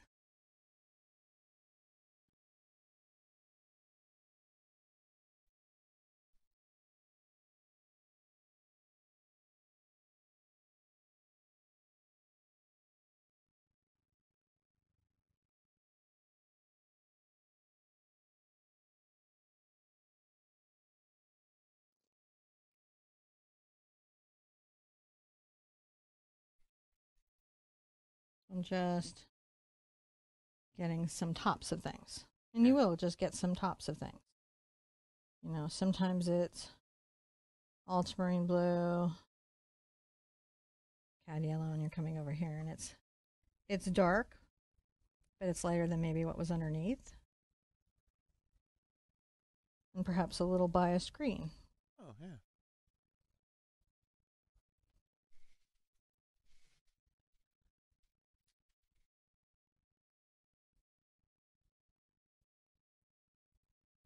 Just play with that. Now, back into this. Come along there and just make sure that these hills feel like they're different spaces, right?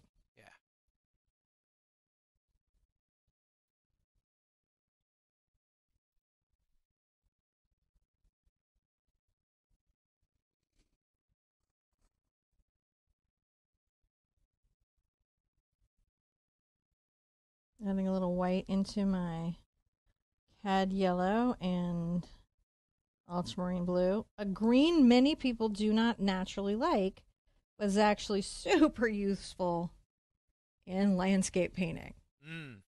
because it's a little desaturated.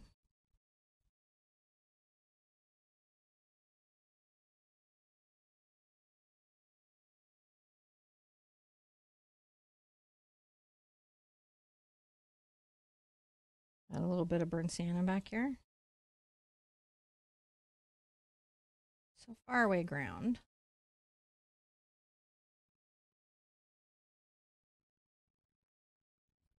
I'm going to come here and I'm going to do something wild. I'm going to take a little bit of my burnt sienna and a smidge of my phthalo green. Start working it in. That's a pretty deep green now, isn't it? Yeah. And by contrast out here, it will be quite dark.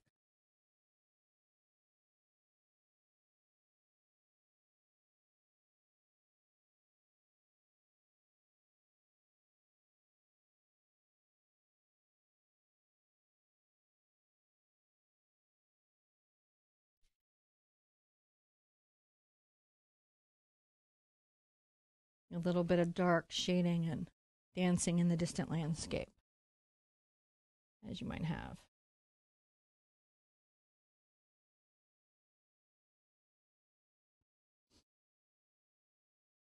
More burnt sienna. Takes it more into sort of this olivey green.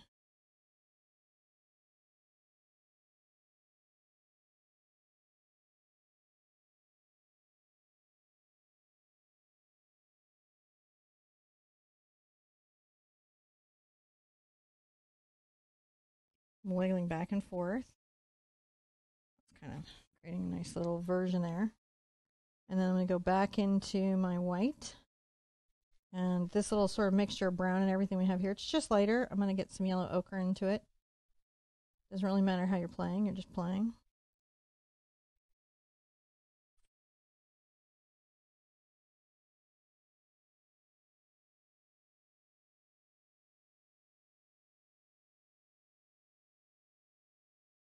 A little bit of light value happening off in the distance there.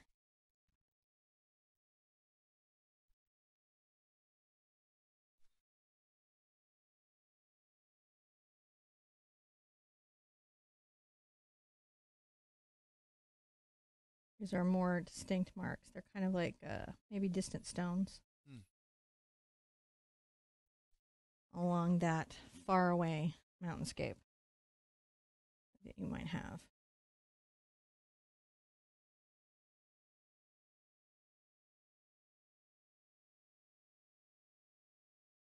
A little more burnt sienna. And a little more yellow ochre.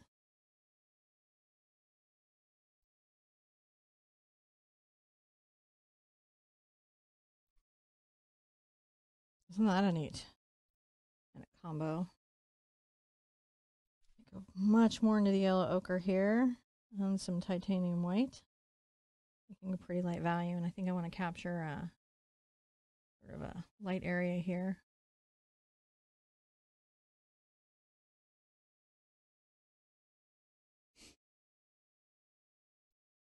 At that. Just making the far away things. Make the far away things. That's what we're doing. Yeah. Let's make some far away stuff. So let's call that a step. We got a lot done and we'll continue moving forward through our landscape as we go.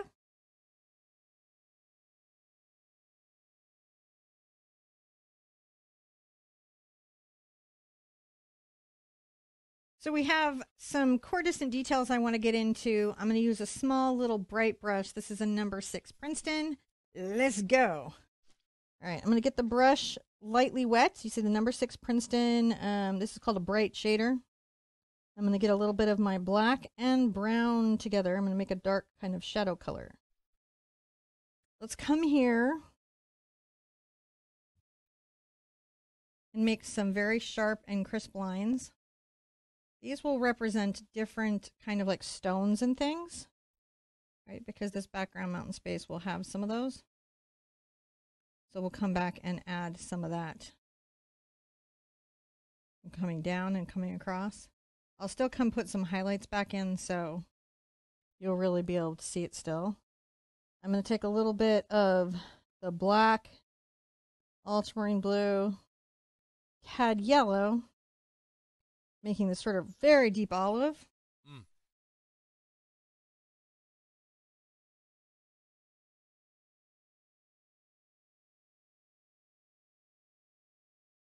And just kind of edging in a little bit of space. I can work some yellow into that mix, that all yellow ochre.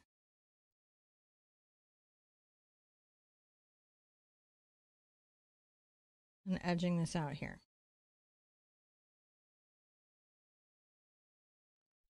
Similar kind of thing here. I'm going to come back into my black.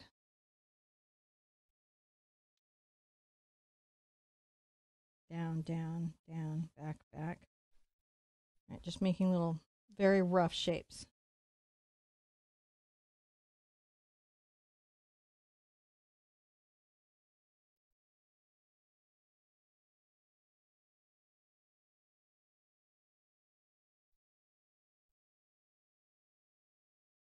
There we go, coming down.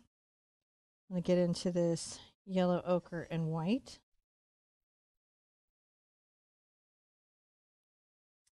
Let's add some burnt sienna into it. Pretty light color, isn't it?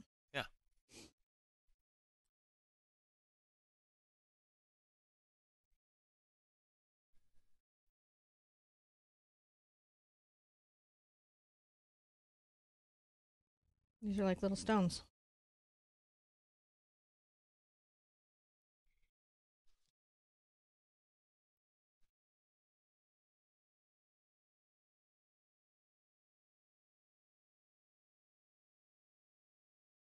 I might even go lighter than that, John. Yeah. Might get a little white and a little yellow in there and go even lighter. Hmm. I can see it. Very sandstone. All sorts of geology. happening in our landscape, isn't it? And then we just take a nice little look at it and we go, you know, if it's too much, can always come back. Some green and take some out.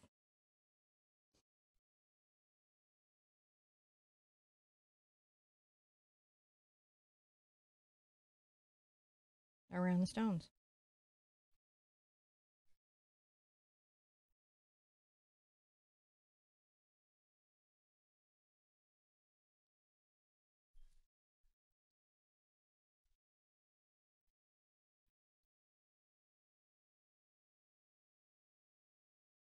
Try to capture some different little edge. We like it. We go for it. Yeah. Get back into our little beige here.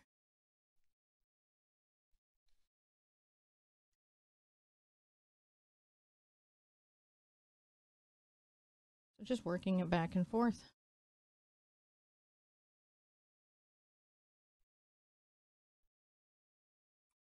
rinse out. Go ahead and take a little bit of my burnt sienna and my phthalo green and just go much more burnt sienna.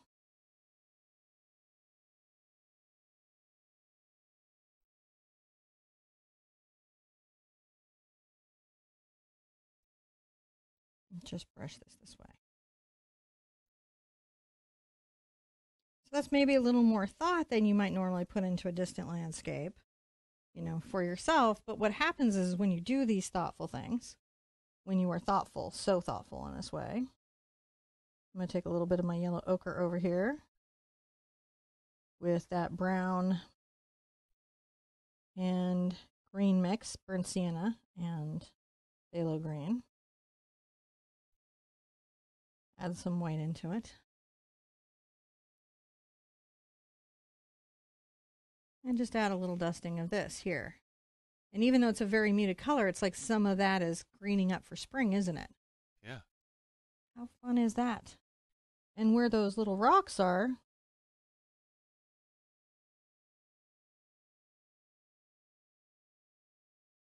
I mean, they should have a little shadow, shouldn't they?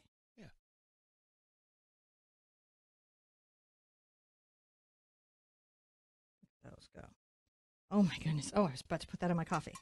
so again, that's just a number six shader. What do I like about this brush? It's firm, it's crisp, it's stiff, it lets me do the work. Now I'm going to take a little look at this and see what I want to add to it. What do I want to add? How do I want it to be different? I think I'm going to take a little bit of my burnt sienna on very lightly on my brush. Can you see how it's just super lightly? I'm going to glaze these back. See how I'm doing there? Because the paint is transparent, I can push them back into the nice distance. And so they're there, but they're not overwhelming. And that lets the other ones maybe be a little more forward and I can come in and even. This works on transparent colors, right? Because they they allow you to push things back like this. The glaze.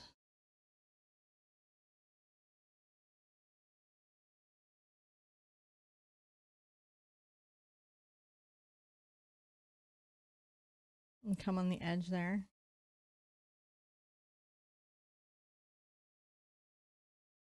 So just a few little values there. Just adding it up.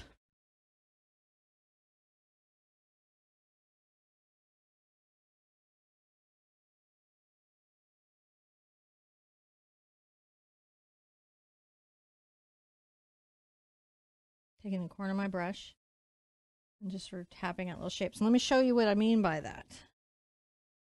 Right? Just in case that's hard to kind of see as I'm going.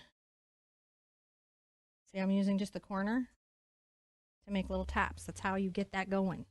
Look at that go. Guys, we are owning it. Yeah, you really are. That looks so super good. Okay. Let us continue forward in our landscape, and we're going to add sort of this middle range to foreground area.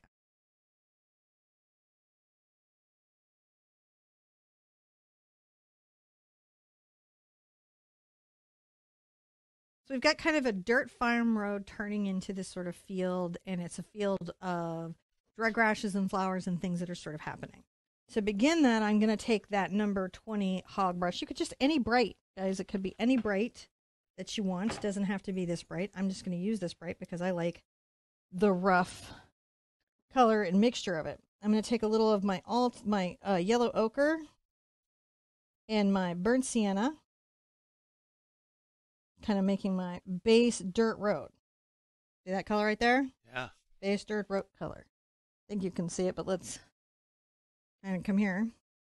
And we're going to be going little brush strokes kind of are going to be orchestrated like this with little up and down ones to talk about the center. So cross, up and down, sometimes here in the corner. Okay, that's what we're going to be working.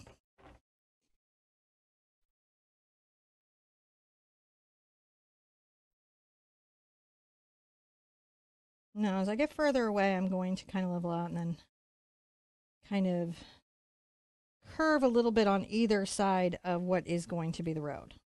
All right. See that little bit of a curve? Yeah. That'll layer in as we go, get bigger and broader. And try to remember this is, you know, ready player layer one.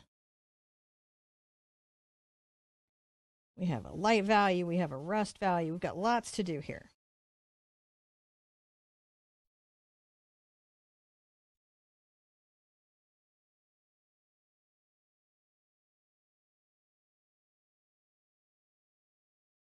I need to get the brush a titch wet. That's okay. I don't want to over wet it because it will soak and that won't be great for the painting.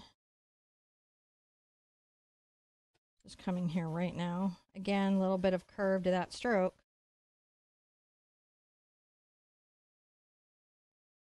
Hmm, stuck a little bit of blue to here. Oh. I will just paint over it. I don't know where that came from, but it happened. So sometimes it'll happen. You'll get a little Probably I put a canvas up here did something and a little blue stuck to it. So that's sort of that little work that I have there. I'm going to get a little bit of my burnt sienna more focused over here and maybe a smidge of my black.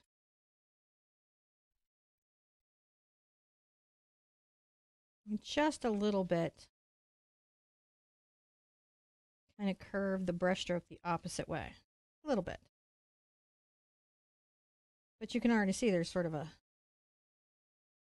just the directionality does a thing, doesn't it? Yeah. Over makes it look like it could be raised.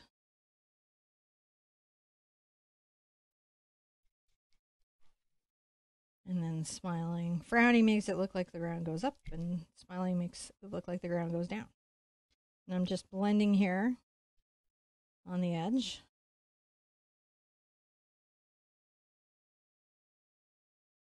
Let's take a little bit of our burnt sienna and uh, make sure the edges here have a little extra rust to them.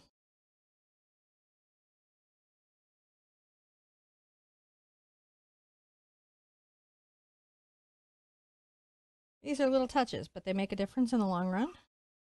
When we're going to be painting all the stones and everything and the roughness of the ground.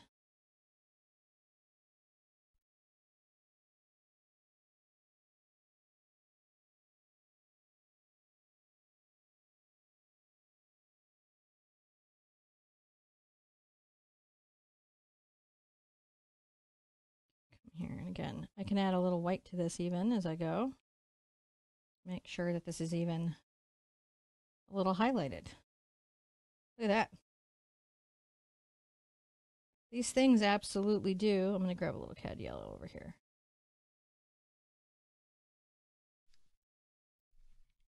Things absolutely do imply shape, texture, form. It's kind of fun.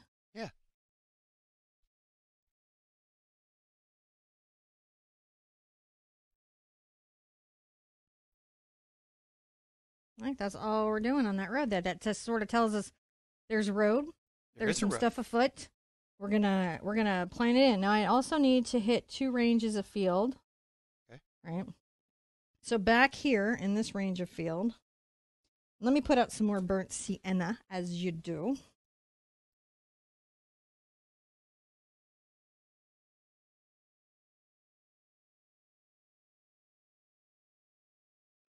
And I'm going to again do a little bit of my burnt sienna and my yellow ochre kind of mixed together. But this time, we're going to be doing that little downward stroke. Remember? How that is? Mm. It can be a little more yellow.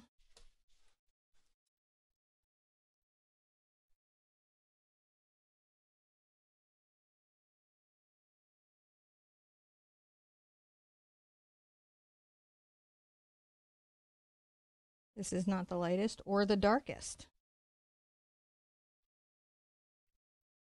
of that stroke.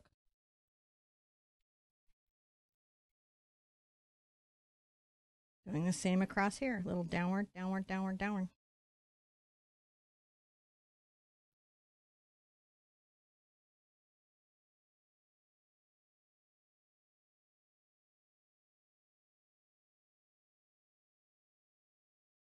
I have a lot of paintings like this. I've got a really great one of Cosmos Mm. flowers going off in the fields. It's really fun to do this.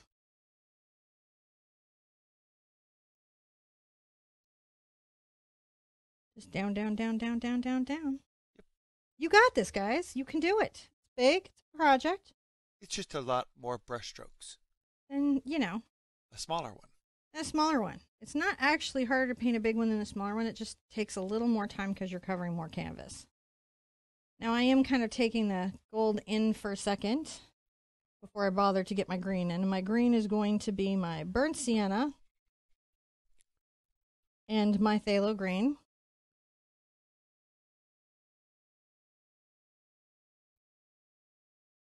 I'm going to kind of layer this in here, coming around.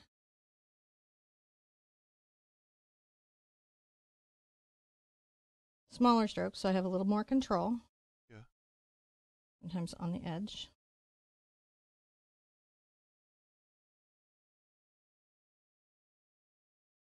Here, I mean, it's like really kind of stronger. Back there, it's a little bit shorter. And for sure, we will be weaving the two colors together when we get there, but right now we're just kind of putting the. I'm picking what the predominant hue is, right? That's what I'm choosing, is the predominant hue.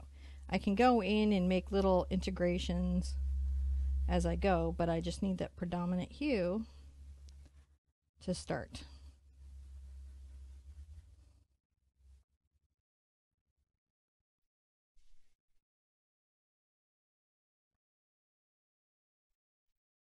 Same, same. Other side.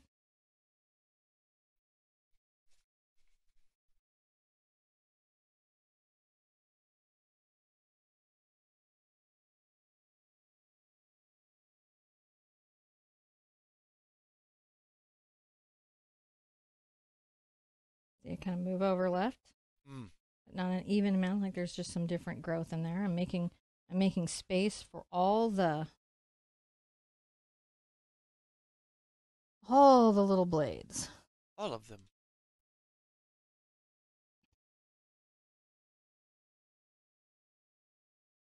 Mm, Too green. And the reason it feels like too green is I just want kind of a depth to it so that when I do anything brighter than that, it really shows out. Right.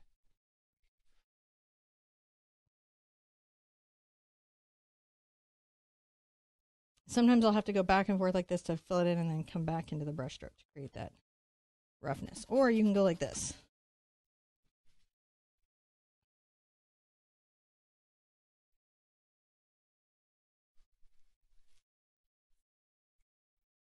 You're having trouble finding the green, it's right there. It's that deep green.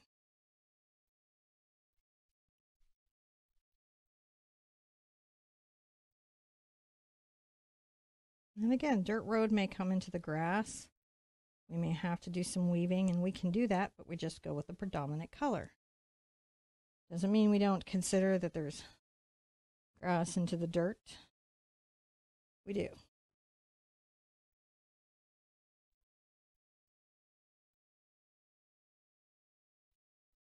You'll see me doing kind of big strokes, just filling in spaces. I'm just making sure white canvas is covered. See that go in.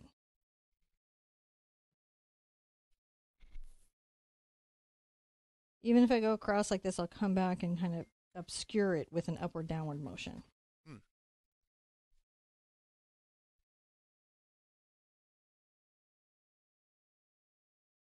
I have to put a little more burnt sienna out there. So we're using a heavy amount of burnt sienna this particular painting, and that's not surprising. It's such a natural landscape.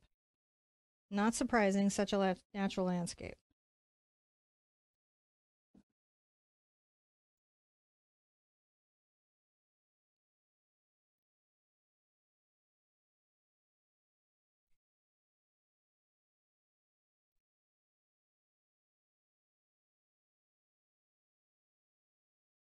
A little water in my brush.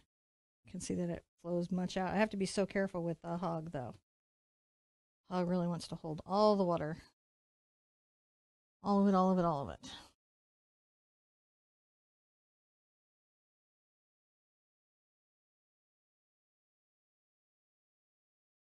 Oh my goodness, we have the underpainting of the foreground, middle ground kind of space. So a little bit of middle ground and a lot of foreground, and we have that kind of all in and underpainted at this moment. All right, it's a good idea to really thoroughly dry your canvas, make sure the paint is bound so you can do the dry brushing and layering on top of it. So make sure you dry it thoroughly. I don't know why I step off. I step off the mat. I'm like, let me get out of the way of the painting, and then I come back and I'm, let me get out of the way of the painting. Ah, oh, so silly. Hopefully you guys are doing okay. Remember, you can pause, you can rewind, use the mini book. You know, those are the steps that go with it, where you can see the steps out. There's the infographics, traceables. There's resources to sort of help you find your way through everything that we're doing. All right, come back with the canvas dry. We're going to add some more layers.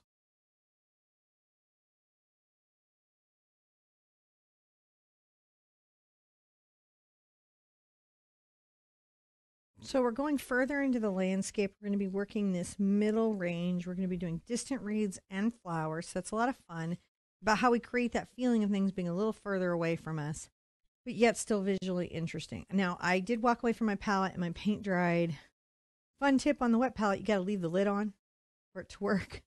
So I put out fresh paint, but it's the same paint in the same order. So you are okay. Now let's get into this middle range here. Lots of little dry, weedy grasses sort of blowing, and then the beginnings of the flowers and the distant road. Fun stuff to work on. Definitely going to be doing my number 16 Artini, D'Artagnan hog brush. You can use any hog brush. I just want something that's scratchy, like we've been using. I'm going to go ahead and get it wet. Wipe it off on a paper towel. And begin a little bit of the undergrass, right? Mm. So let's take some of this cad, uh, oh, yellow ochre and a little bit of burnt sienna.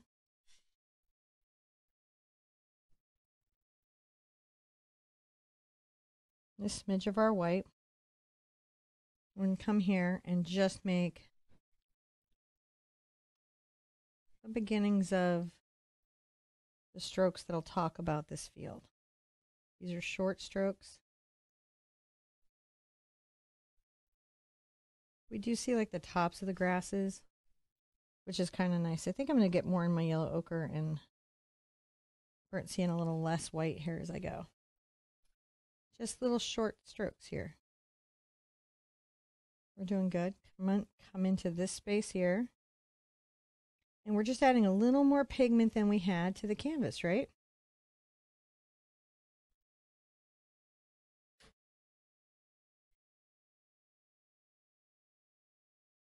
And then let's come over here and do a similar thing. Maybe a little more burnt sienna this time. And just come back with our little grasses. And you can see I'm kind of doing an angle brush stroke from the right down, I mean the left down. Just pulling that down. Pulling it down. But keeping those brush strokes random so I don't make too many patterns. When I have that in, I do want to make different values. So if I come here, my yellow ochre, smidge of my cad yellow, smidge of my green,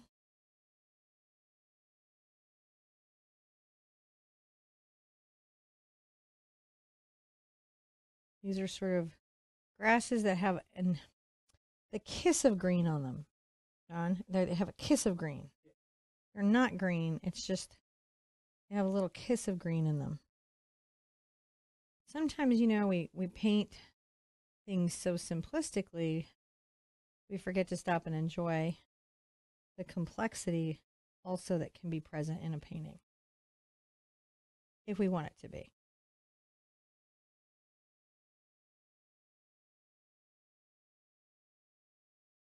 That little kiss of green also helps it go from this hill to these grasses a bit. Tells a story. Notice it is not distinctly green though. It's like the chloroph chlorophyll is fading out just now through there. Again, a little yellow, a little green over here.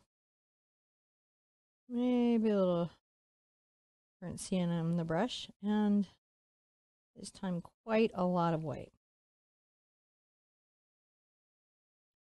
put some highlighted spaces in the grass. Little short strokes. You can see they're at an angle.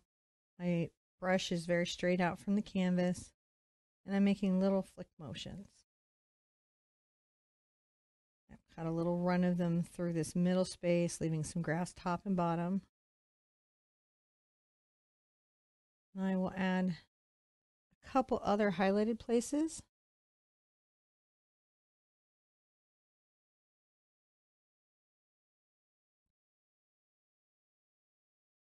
But I don't fill it all up with this color because this is where the light is catching.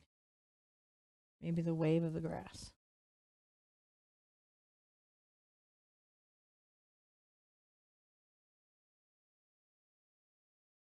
And come here and do a similar thing. A little cad yellow, a little phthalo green, quite a bright green. Tone it with a little burnt sienna.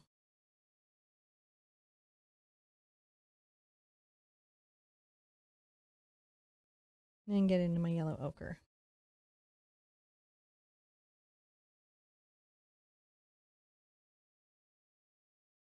Coming up here kind of diagonal and you can kind of see that I just lightly brush it. Got a little Remington on our hands here. We're getting getting a little big country. That's not bad, is it? No, Let's take a all. look at that and see how we're doing. So our we're starting to see little elements of wave in our grass. You know, if you take that in, you can see we need some depth, right? We're going to need some depth and some more highlight. We're going to continue to build that through and we just look at that and evaluate and, you know, say how does that look to our eye? Does it feel distant? Does it feel far away? We just got to find our way into the painting is what it is. Yeah. How you doing, babe? Good. Excellent. So I'm going to come here and take a little of my Mars Black and Burnt Sienna together.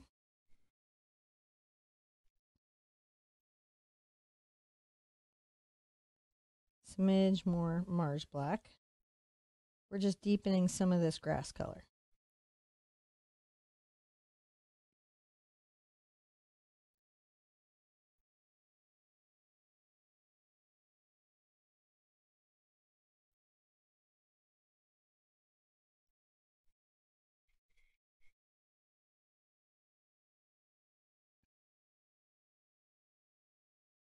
Little short strokes. Though. That isn't changing.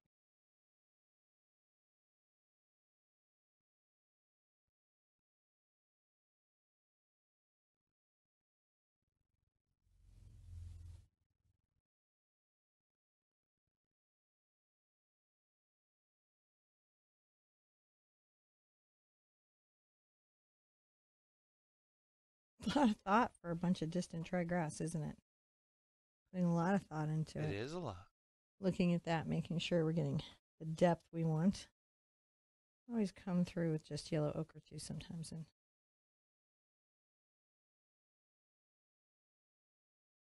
and come right up here to my yellow, green, and brown light color, just adding my brush in.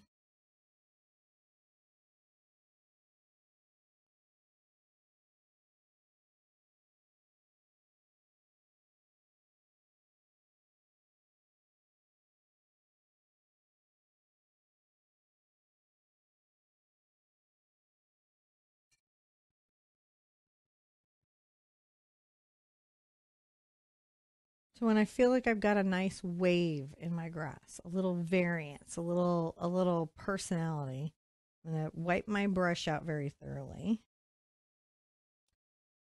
I'm gonna take a little bit of my burnt sienna, a smidge of my Mars black, but mostly burnt sienna.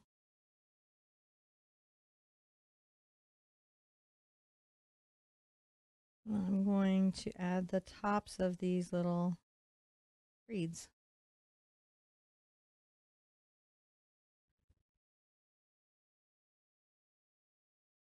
Touching my brush up and down very lightly.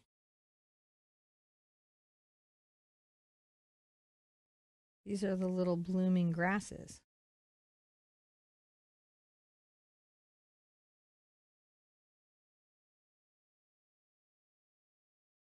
Sometimes I come to the corner, kind of break the line of the brush. And this is just going to take a minute to do.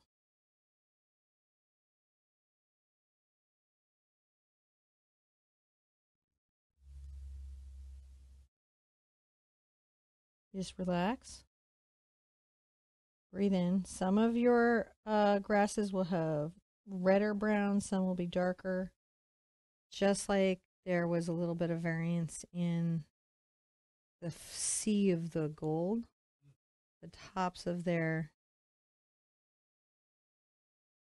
grasses that we're catching here, they'll have variance too.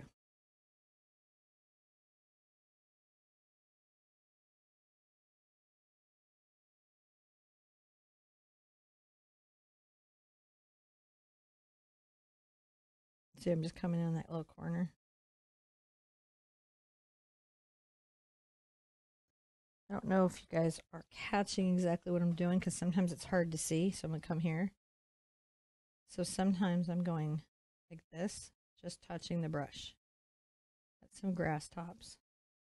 And sometimes I'm coming on that corner and just pulling them down. That's like maybe a little big. So what I'll do is I'll diffuse it out, break it up. But we're trying to imagine that this is just on the top. And it's kind of like our clouds, it is in perspective, right? So the further away it is, the closer the tops will be. And then the closer they come to us, the more open and visible they'll be.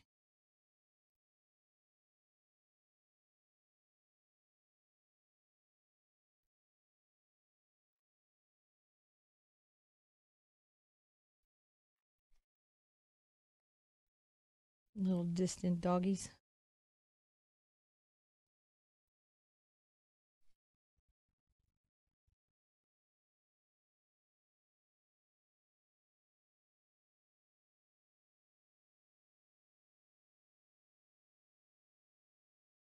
And I'm just bringing this through. And it's a little bit quiet. You know, I'll get quiet. John will get quiet. It's relaxing.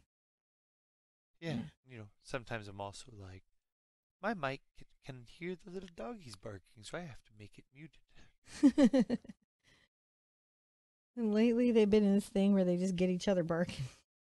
Nothing really going on, but one of them thinks there could be, and then the other one's just not going to get left out of it.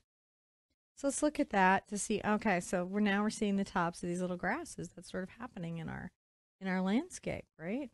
We're building that in. Yeah. This is going quite well.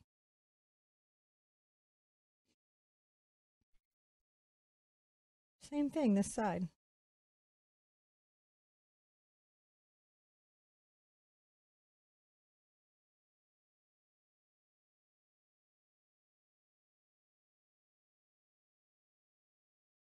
Close together when they're far away, and then you know maybe you'll see more individual bits of it as they get closer.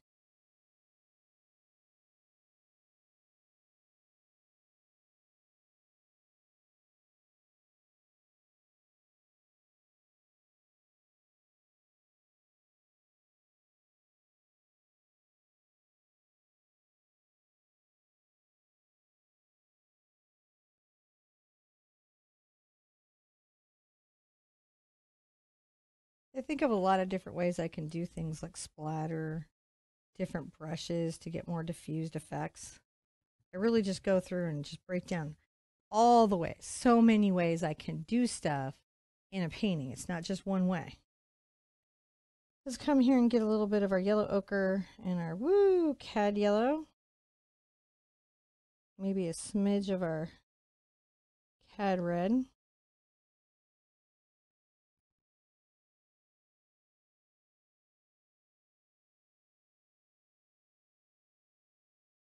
And a little bit of bright gold. Couple spots to our distant field. Bright gold. Never did you know that grass was so involved. Like, oh, far away grass. such So a- many layers. so much going on. Every moment in the painting, so much going on. A little white into it. Yeah.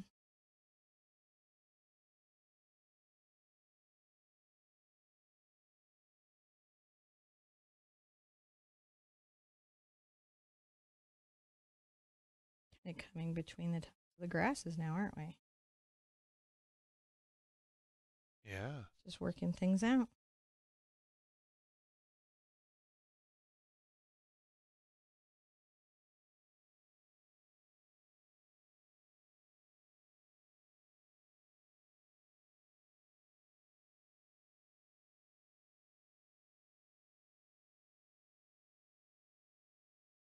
Here I'm diffusing. If you get too heavy on a story on your brush, you diffuse it out.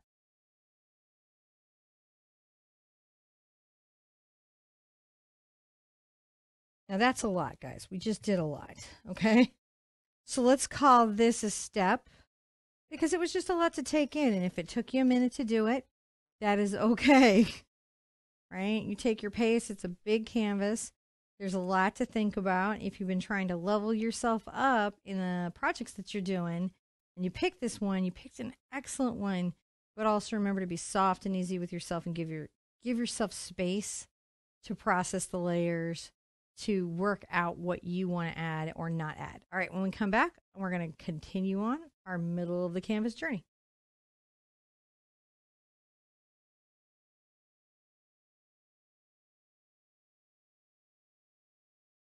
The little Twix here was underneath going, sniffle, sniffle, sniffles. I need some attention. So we're going to take a little attention break. Got to give some attention when they need attention. Because, you know, I'm just standing here doing nothing. That's what it is for so. dogs. They're like, I don't know. She just stands there for hours on end. That would be much more efficiently used petting. Doesn't she love it? She's just like, oh, This is the dog oh, that so loves loved. the pets. she loves the pets. We and uh, I just really enjoy her. She's very sweet. Ah, so we're going to continue on our journey up this road, the never-ending road. John, how you feeling? It's a road. Good. It's a road, We're and we're going to continue on further Down up the road. Up the road. Not down it. Uh, I don't know. I, am going to say, who knows, man. I'm going to add some flowers and some road here, though. Now, I'm going to want my greenery to be coming down kind of at a more extreme angle here, and I'm going to want to be blending in my bright greenery and some little distant little flowers, little wildflowers. Fun stuff to do. So I'm still here with the 16 D'Artagnan hog brush. I'm going to continue on with the brush strokes, kind of that you've already learned, but we're going to add some value and some color out here to everything, brighten it up, let this become greener and more full flowers in the center of the road. Get some little rebellious greenery down there. It's so rebellious, John. Ooh, I'm into rebellion. So we're going to start with a little of our burnt sienna and our phthalo green. And on this side, I'm going to come here and just touch very lightly my dark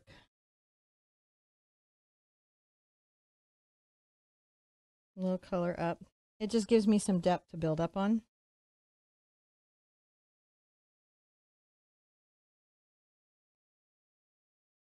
Now, as we come back here, it might get into that kind of grassy area some.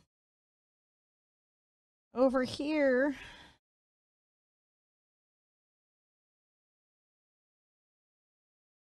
going to add that dark green again. You can see I'm just pushing that brush stroke up, right? Flicking upwards on the toe, flicking up.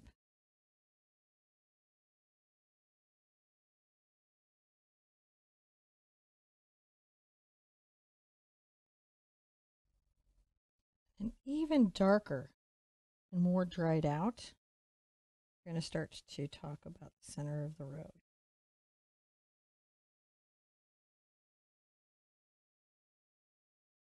You can hear my little phone beeping. It's over here doing little. Zzz, zzz, zzz. It's on like silent notifications, but it has a lot to say. You can see these are just little clumps.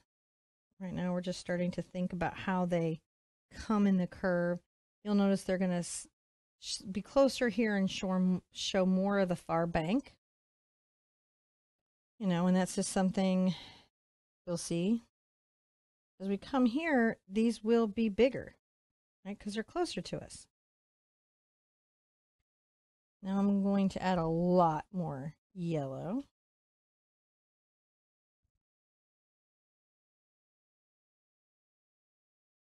And green. Brighten it up a bit. Just the beginning of brightening it up. Haven't brightened it up a ton.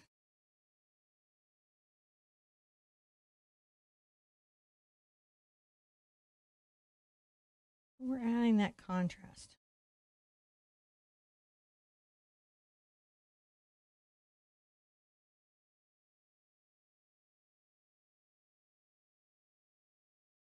It's pretty, pretty chill about that. I'm going to rinse this brush out and put it to the side.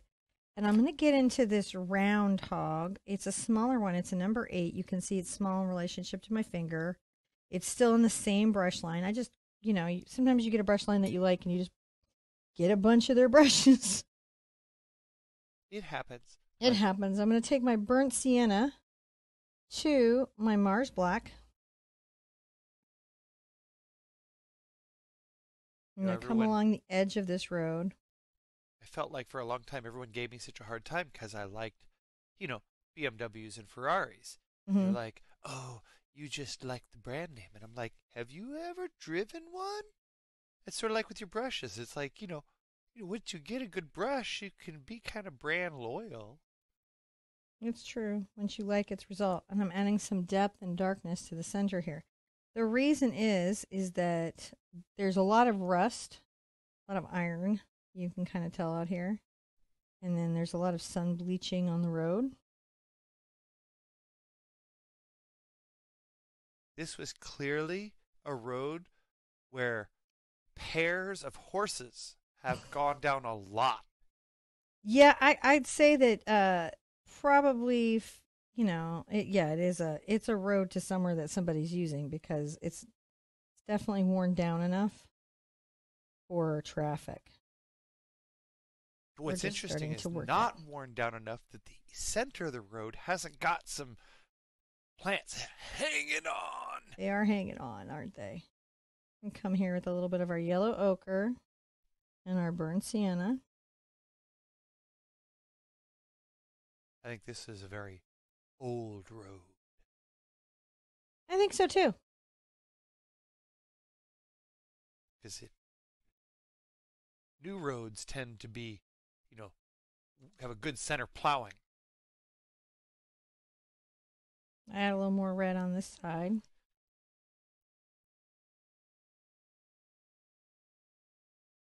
And a little red here.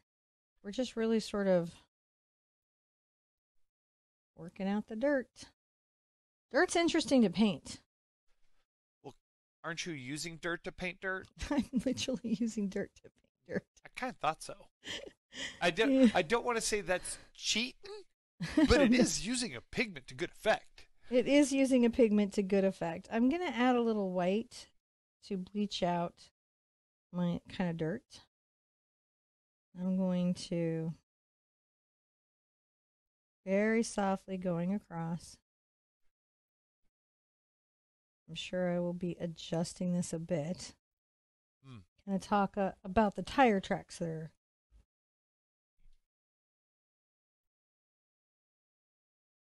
Because what happens is I'll, I'll go up and down. I'm just trying to make the uh, worn down part of the road. Ah.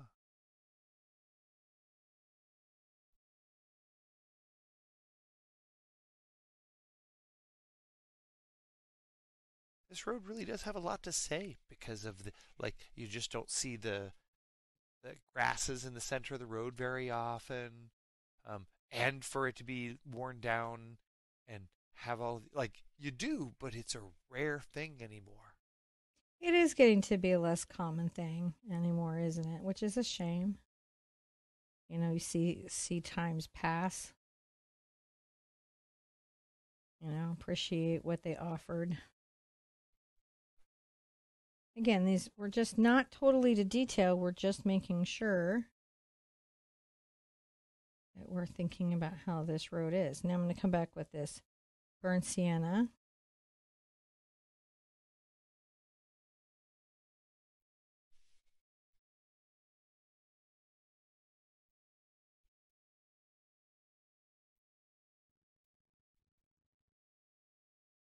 I can even press this up and down because here at the edges, it's uh, it's not smooth.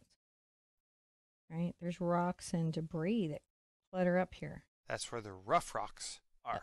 That's yeah, because they get kicked to the side, don't they? They do. The smooth rocks are in the middle where they get squished down. Squish, squish, squish. You can come in and add a little dark value to it to kind of talk about maybe some stones.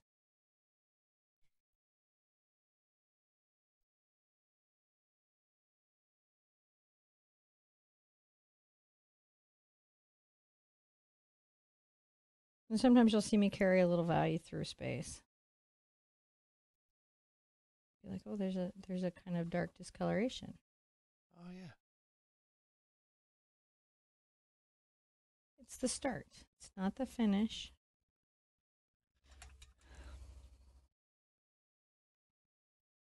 Not the finish, just the start. Layers I'll rinse out, huh? Layers of the road. Layers of the road. I'll rinse out and come here and continue on. Just maybe the thought of the. It'll get more involved here as you go. I'm going to just let my hog brush kind of work for me. Every layer that I build up will create another space by which. Look at that. I can just go back and forth. Pretty rough with the brush. Makes a nice sound. Kind of a scrub, scrub, scrub, scrub, scrub, scrub. Yeah, it's a nice sound.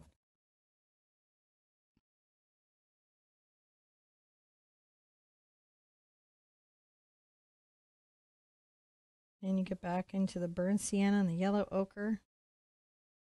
Back and forth you go.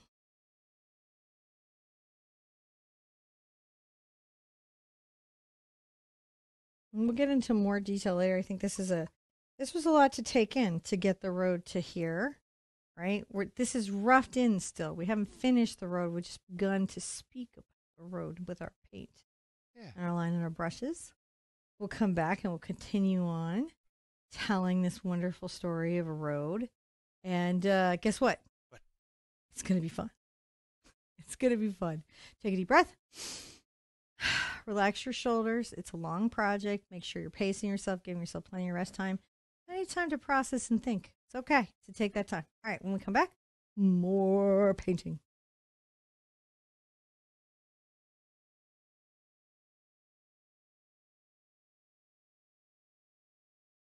So I want to add some fine details and flowers to this distant space. Begin adding little stones and interesting texture. Um, I can do it with the brushes I've been using, but I have a superpower brush that I'm going to use because it's really going to help me do this. Yeah. It make my experience so much easier. It's 100% why I use this, um, and I'll show it to you. It is a filbert grainer, and How does that work? I'm gonna. I just got it wet so you can see it. It's like a filbert that has had little scissors coming in and paring. Oh, this one's a a I'm three looking over your left. Mm. Trying to. No, you're good. Oh. Look, there you go. Okay. I'm just trying to adjust my focus so I can see it. Okay. So that's where we're at. I'm gonna show you how Oh. it kind of works. I'm gonna go ahead and get some of my paint on it.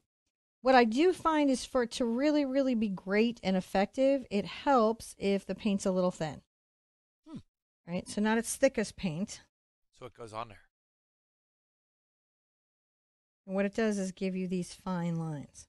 Oh, If you- those are fine. Those wonderful. And the trick to this is I am going to press and pull up, and then I also change direction. So we can see that the spring of the Lacombe brush go spring, spring, spring, spring. Sometimes these are called uh, grass combs. Sometimes they're called filbert grainers. Uh, the Princeton Velvetouch Oh. is a very nice one. I like the feel of it in my hand. I didn't know I was mismatching terms there. Well, they could be called either. It's interchangeable. It's interchangeable. So let's look at it again. Right. My pressure's not too heavy. You can see if it's got too much of a dry brush, it doesn't really do the technique. It's definitely one where I begin in stronger on the technique and release at the end. It is definitely one of my favorite grass tools. And also it's going to let me, and I'll do it with my, um, I'll do it with a red just so you can see it. It'll let me make little distant tappy flowers. Aren't those great? Oh yeah. They're fantastic. I have to do with another brush. It's going to take forever, ever, ever. And it will also do nice stones. So it's going to do most of the lion's share of this next part. It is a fantastic tool. It's good for waves, it's good for trees, it's good for there's just nothing it's not good for. Again, if you don't have one, you can take a filbert and a pair of scissors and make one. These brushes were all made by an artist at some point, and then the brush companies just knock off that idea and sell it to you. So just know if you cut your brush, you void the warranty. All right. So if you cared about that, that is a thing I let you know. So back to the painting. Back to the painting. Let's come back here and get into some really light greens. So I'm going to work my yellow into my bright green over here. You know, getting it very, very light. And I'm adding a drop or two of water, right? So that the flow off the brush is good. I don't want it to be watercolor, but I do need it to be fluid enough for me to be able to go here and create little little moments. Aren't they wonderful? I love them so much. If I wasn't zoomed in, I don't even know I could see them. Mm, so little moments. they're wonderful though. They're the grassiest little grasses that anybody ever grassed. And you know, going over the deep colors, you can always come in and get a little white and yellow if I need to even vibrant that up.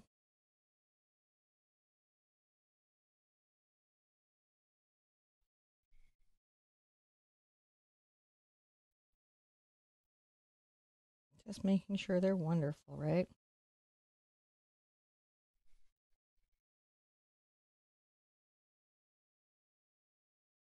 Continue to use the brush. It's an upward stroke. We'll let the road kind of disappear.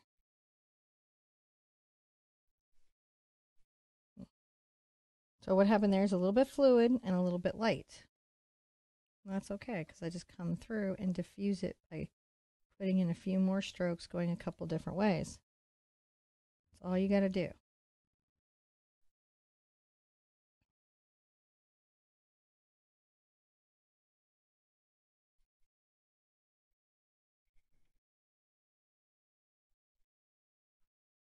And you're just going to come here and sometimes it's good to throw some that are out. Remember, grass just does its thing.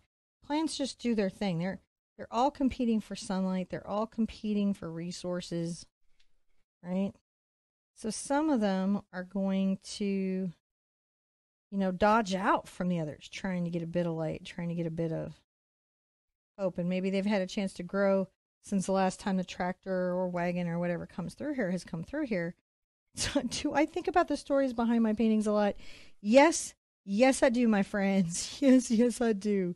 Now, as we go across here, I'm gonna have to keep it. I'm gonna keep a zoom over your left shoulder because this is such a fine detail work that I can't see it over your right shoulder. Okay, so let's do that, and I will stay out of the way. You just let me know if I get in the way of the shot because I want them to see this. It's super fine grass. Now I'm going to come through the middle if you need to focus into here. I'm going to get my brown and green together again, my burnt sienna, my phthalo green.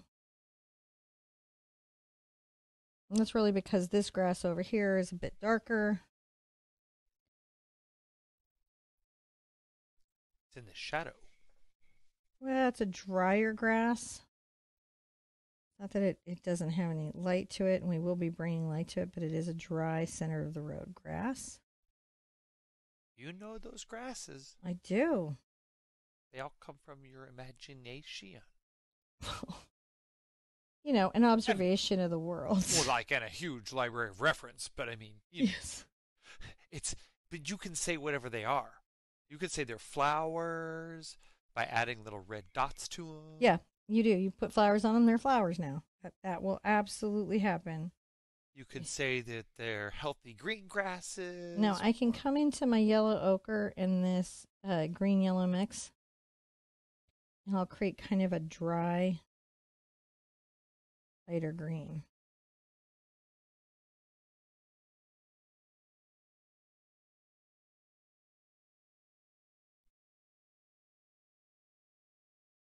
Try to really vary up what's happening down the center of the road. Still peeking over your left shoulder there. Okay. Uh, let me know if I'm leaning in. I think just a little bit. Okay. Oh, there it goes. Perfect. Thank you. So John sometimes has to let me know what y'all's experience is. He is not bossing me. He's being my teammate, my buddy, my friend, making sure that your lessons are coming to you with all the visual information that you need to succeed. Because what you see, you can do. That's why we got zoomy, zoomy cameras. That's why we got zoomy, zoomy cameras. That's So you're not official term. guessing. If you go look them up, got to find them in the zoomy, zoomy section of the audio video store.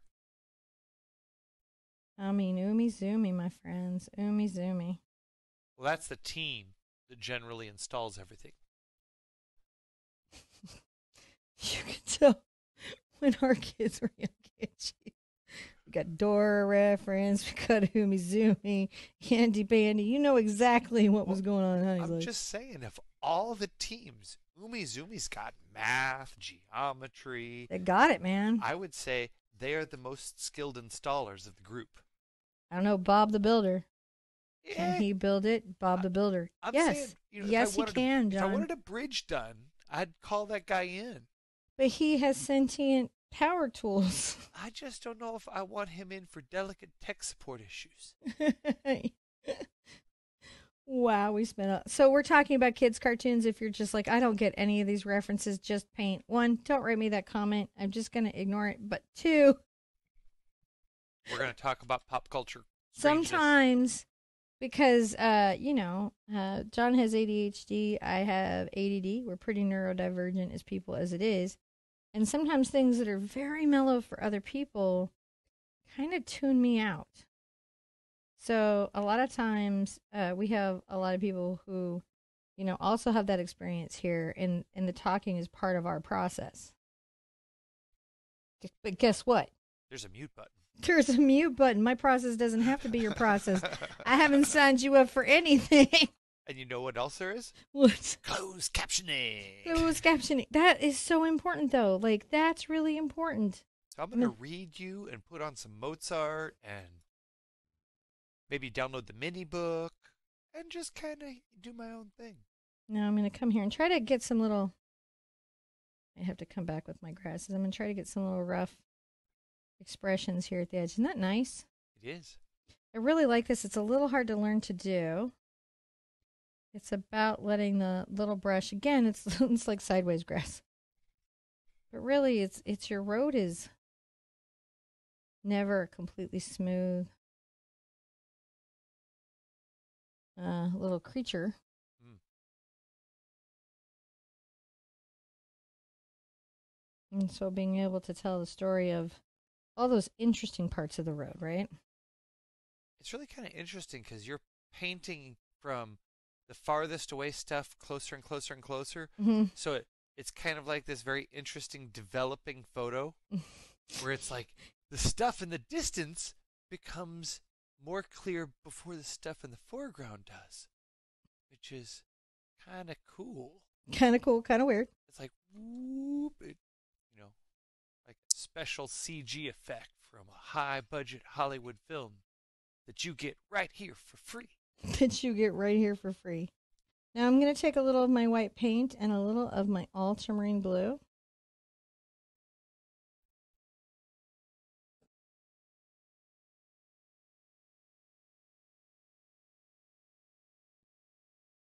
I don't want it to be blue, so I've like overmixed it there. What I'll do is I'll just pull my brush off and Oh, come from the side. Yeah, it just got a little too blue. I want it to be off white, but not blue.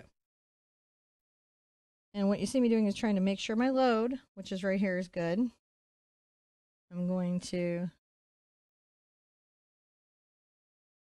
tap the brush up and down. Try to make sure that I am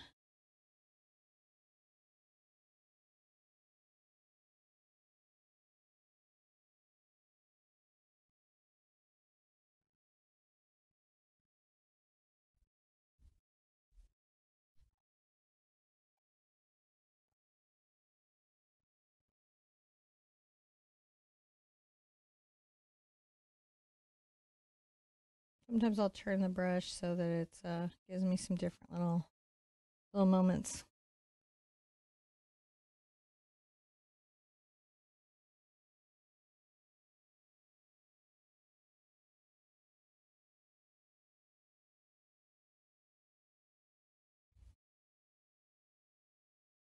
Just a little white cosmos. Don't really have any pink in here yet. Sometimes cosmos have a lot of pink. But these really ran heavy in the white, and I thought that was kind of fun. You can always add them in. Right. You can always add some more pink in your Cosmo, but it's just sometimes nice when they're unexpected.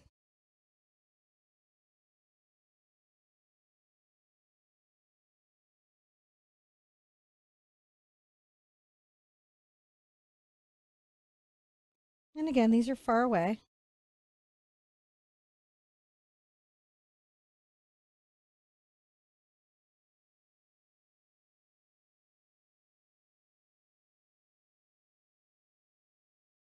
You're just tapping it up and down. I do try to make sure that I don't have too many patterns.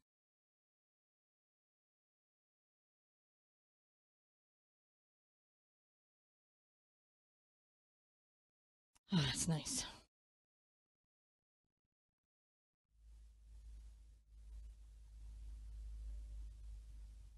I'm going to put the back here even before I bring these grasses up into it because I know the layering will be powerful.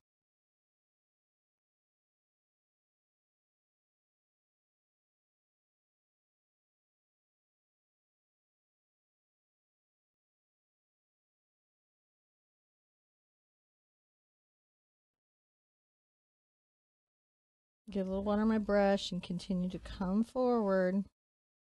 Let's come over here.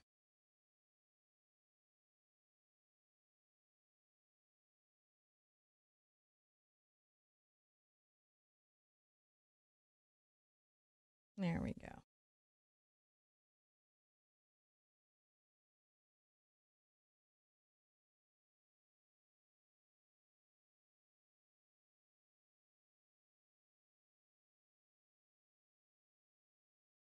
Sometimes I bring over into like other little kind of areas, like little individual blooms have come and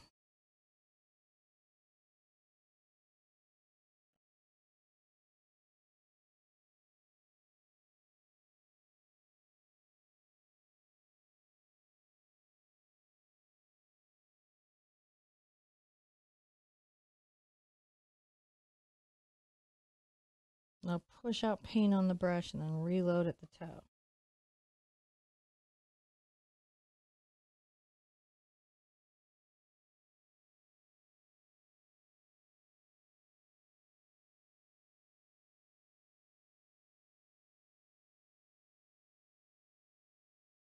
This is going pretty well, my friends.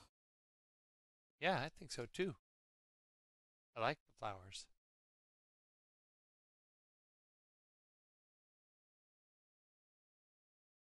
You'll notice that sometimes I kind of come up above the grasses and let the little flowers float. I like to do that because they do that. I do a thing, it's because I observe them doing that thing and I try to reproduce it in the painting.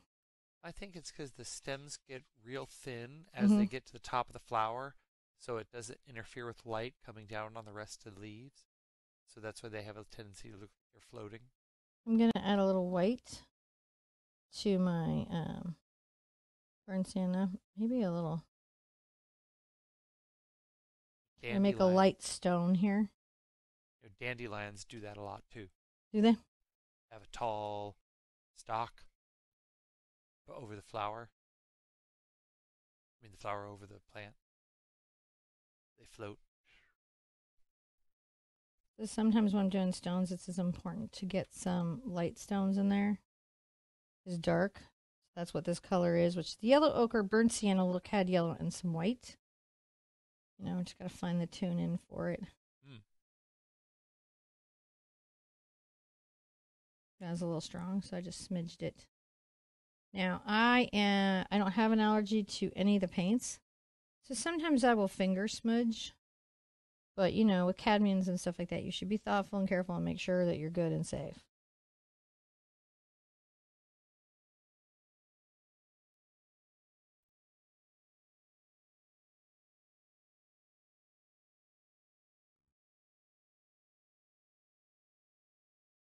So strange how we do. All right, man.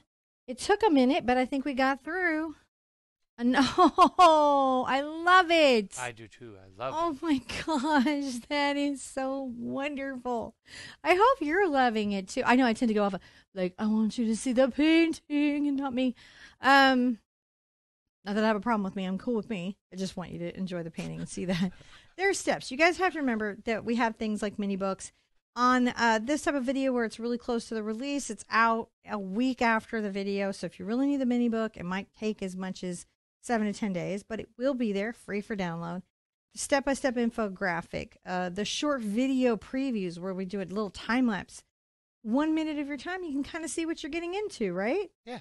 That could be kind of nice. Be like, so check those on the short shelf. That's on your mobile device. You can see those on YouTube or TikTok or Instagram or Facebook. I try to make sure they're everywhere. So no matter where you are, you have access to those quick materials. Oh, man. All right, let's call it step. And when we come back, we'll continue to grow and bloom and and work our little tussies off.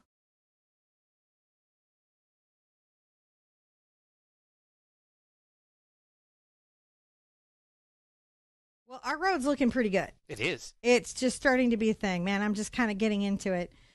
You know, we got to keep doing what we're doing. We got to keep doing that good work, that good work in layers. Really, honestly, what stands between most people and a finished painting is perseverance and fatigue, right? So you just got to realize the layers, they happen. You do the steps, you build them up, and you get better out of yourself than you can ever imagine. Really, if you've done acrylic April this year with me, this is kind of like, yeah, I got it. Yeah, I did. I did 30 days like this. So, you know, you're just going bigger. Yeah. Right? You did last year and this year, you're ready for this painting. You're ready for it. It's the one you need. All right, let's continue on. We need to keep telling the story of the road. The road has a story, John. It it does. It does. And the important thing to know about the story of the road, right? And this the road does have the story is that um, you know, as we go here and it comes close to us and we start to see stones and everything more, you know, it's still a pretty involved you know, space. And I, I have to make sure that I um i'm pulling detail in more as I go forward. Might even pull some cad yellow into that. So that's the yellow ochre, um, cad yellow and white. Just trying to get that bleached kind of space out. I might even curve some of these upward and then go across.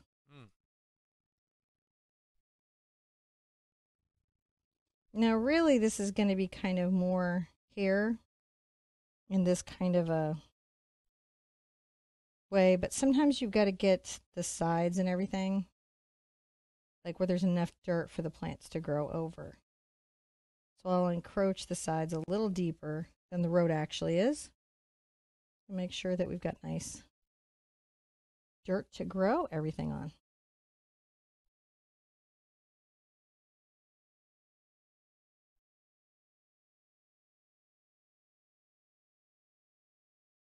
Just pulling a little cad, uh, no, uh, burnt sienna and Mars black.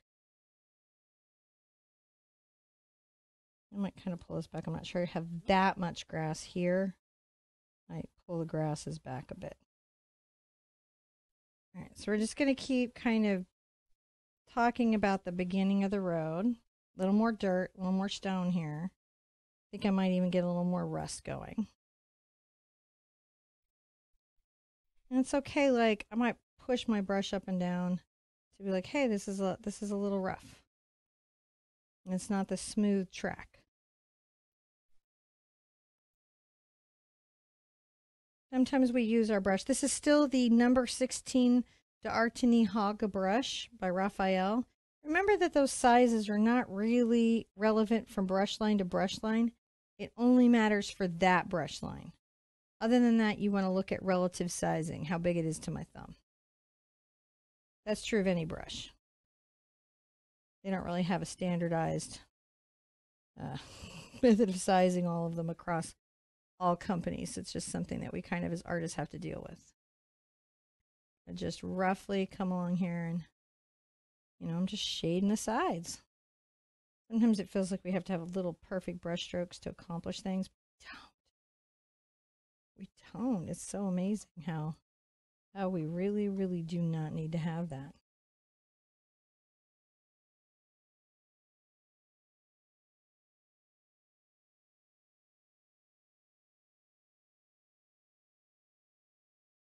I'll just keep working my road. Dirt. It's harder to paint than you think. Even, Even with painting- dirt. Even with dirt. Just, Painting dirt. so This much is- going on here. I would say that this is the high art form of playing with dirt. You're not just in your backyard anymore. If you like these more involved, in depth classes where we really go deep into technique and process and break it down step by step, right? And they're having fun with these, let me know because I'll try to make sure a few of them hit the calendar, you know, in a month at least. And don't worry if you're into like some maybe more entry level classes. I got so many of those. So many. I'm going to continue here and I'm going to get my yellow, ca- uh, yellow ochre, my cad yellow. Oh, a little burnt sienna. It's a weird color. And then maybe some white.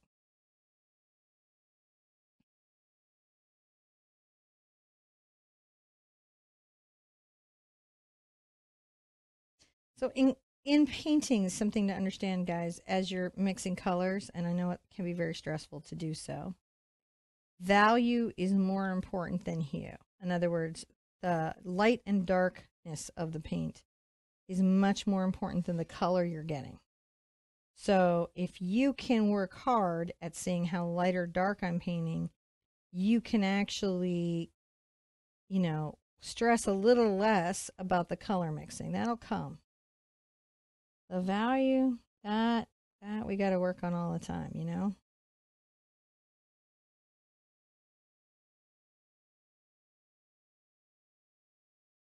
I love just getting into this road. I could just be into this road just all the time, you know? It's wonderful stuff. I'm going to rinse out my brush because, you know, we never want to leave these in distress. And I'm going to switch back to the round sister of that brush, number eight, Raphael Round and Hog. I like Hog because it gives me some nice rough textures I can play with. I'm going to take a little Mars Black into my burnt sienna.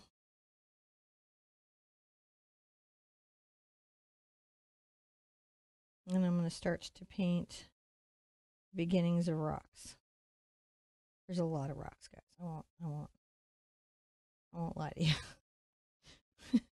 There's a lot of rocks happening, especially like up close here that we can really see.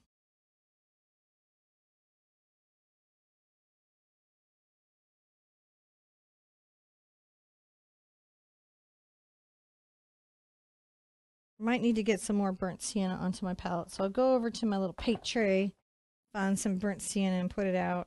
I am using Sennelier's uh, Acrylique, which is their professional line.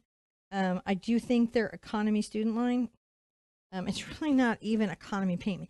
It is not hard on your pocketbook, but it works much better than everybody else's student paint. I would say what it is is it's like a what economy pro is what you had said, John. I liked your explanation of it. So yeah, it's uh where they where they re- where they did cost savings was in using modern pigments that don't cost as much but perform very similar to traditional pigments as well as different types of binders and things Not so much fillers, which a lot of them do. A lot Right. of the a lot of the other companies hit it with fillers, and fillers just make us miserable. So what you end up with is, is is a paint. It's a much more modern paint. First of all, you know it uses a lot of modern technology. So that's one of the things that gives its performance is that it's had years of modern technology to it, um, and so it performs very much like a traditional propane, even though it has a very low cost. So probably is better to say it's a high tech, low cost option. High tech, low cost option. That's right. And so if you're looking for something a little less expensive than the pro paints, but you don't want to have your experience completely ruined by low quality, um, their abstract line from Sennelier is the one I recommend. yeah, it gets stays peaky and thick. and mixes in all the traditional ways that you would expect it to. Now they're friends of mine. But- but I wouldn't tell you guys. I would still like them and eat dinner with them and take them out, even if I didn't like their paint. Um, and I would I just wouldn't talk about it here on the show. And that's the way that we became friends was because we were such fans of the paint. Yeah. So that was it was like we were super fans and then got to meet them. We're like, we really liked his paint. They were like, we really liked it. We you really like our paint because you would. I mean, like who would be like, no, we're upset you like our paint. That would be really weird. Ooh, look at our road getting all dusty. It looks like some horses have been through here. Some well, there's some there's some shadows because sometimes until you get some shadows in there, you cannot. I'm going to go back into this bright because it's bigger. You cannot get um the stones to look like stones. I'm going to add a lot more white to this and maybe a little. They do look Burnt sienna. considerably darker than stones. Hmm? They look darker than stones. Well, there's the shadows that will be under the stones. They're shadow stones. I just try to get this. I want some light, but I don't want it to be.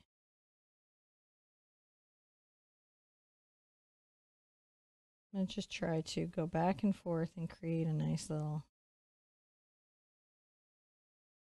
Hmm. Sometimes it's hard to get that that bleached road effect because you got to get bleached road going. We need a bleached road. We're bleaching it. Yep. If you didn't know. It's getting lots of sunlight. No plants to absorb that energy. Just gets to penetrate to the dirt, grind out all the color with its cosmic rays. Kind of, yeah. I mean, not for nothing, but yeah. Now, while this is here, I'm going to take a tighter, more controlled brush. Um, I'll probably grab a round. Right. This is a Isabey Escrow round. It's a number four. It's not that far off from the Art Sherpa number four.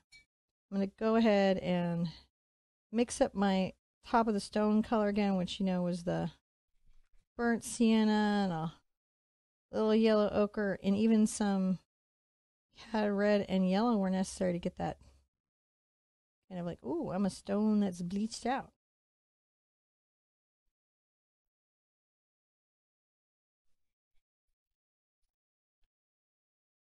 That's what we're gonna do. Is we're gonna add. Oh yeah. Try to peek over your shoulders. Okay, I'm gonna get back because I don't need to be really on it. I just need to.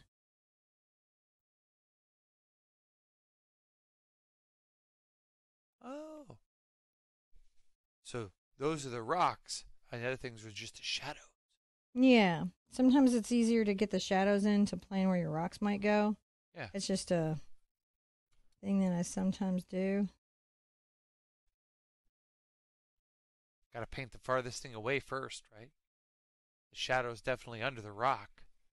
Be hard to paint you don't got to. It's just a strategy. It's just a Well, good sure, strategy. But I mean, it would be more complicated to paint the shadow around the rock than it would be to paint the shadow and then put the rock on the shadow. it does feel like sometimes that is true.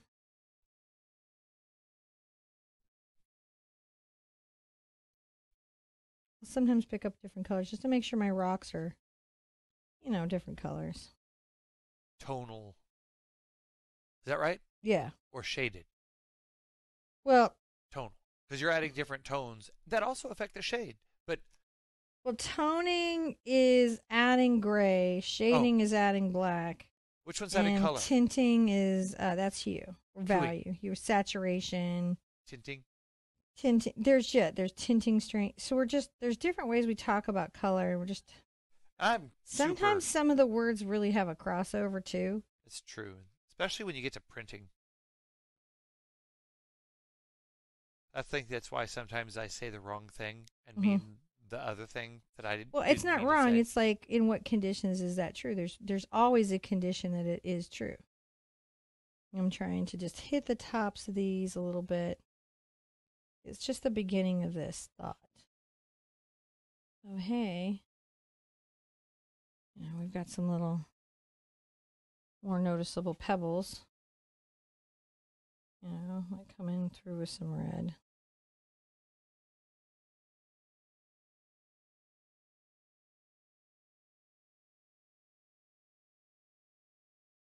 Just telling a, a little pebbly story with my round brush.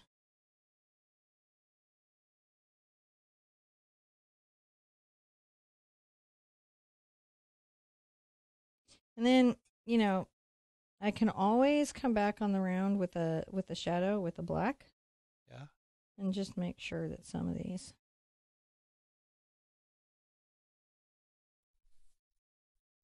Mm. have some deeper shadows.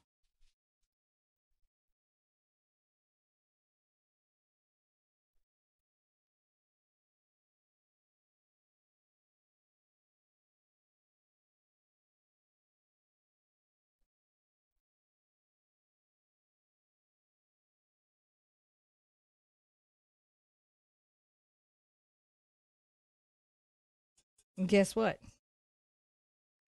This brush is back. So I'm going to take my grainer, and come in and maybe get some red and black going again. All right.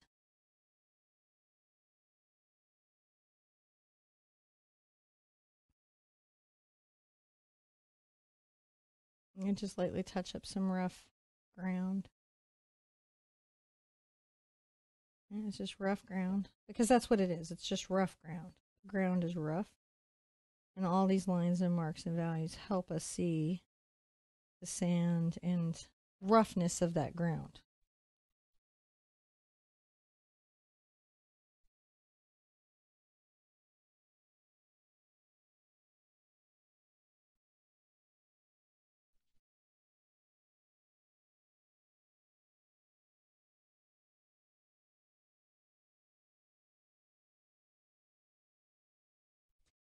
Putting a lot of thought into a road. No, it's great. I like the sophistication of your road.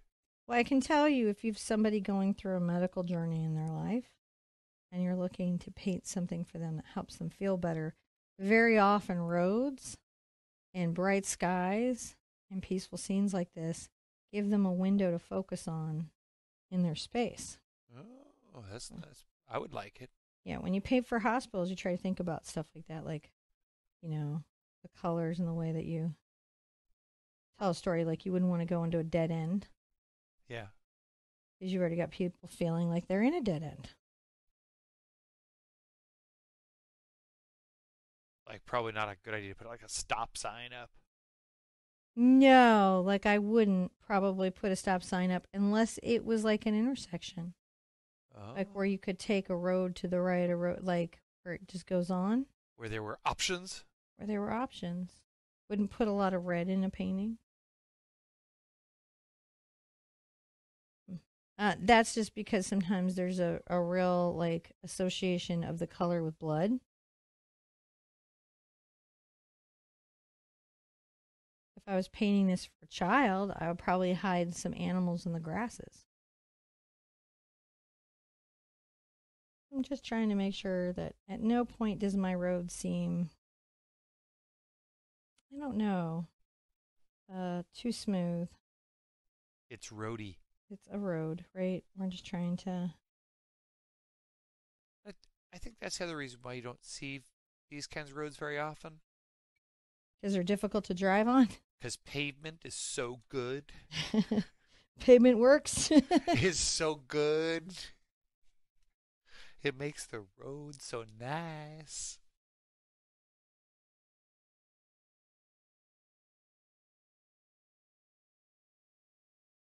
Sometimes I'll get another little bright color here. So this was the cad yellow, yellow ochre, and a little titanium white.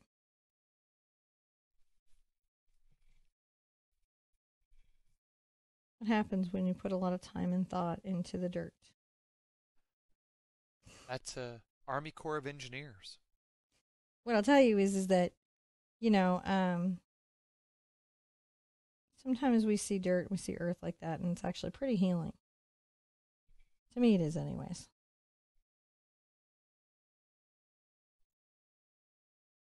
I'm just wiggling this brush along. Look, making these little rough, irregular little strokes, aren't they? Oh, Yeah.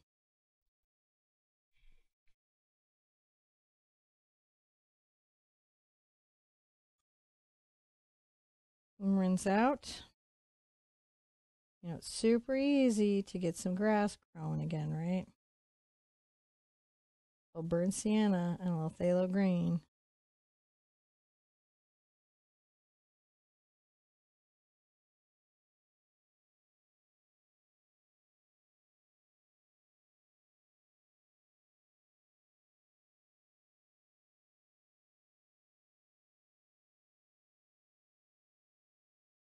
Get some cad yellow going. Maybe a little titanium white. Improve the flow.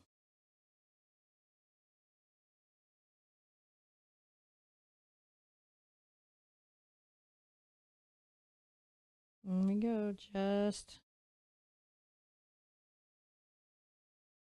making sure we've got nice pops of value.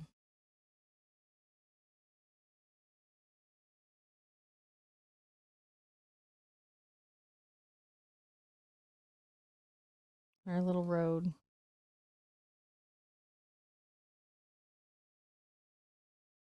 Maybe a little green here kind of growing out, right? Low and rough to the ground. Uh, a little more burnt and dried out though than that. Green, let's kind of low grass some of this. Low grasses, my friends, low grasses sometimes have to get into the road.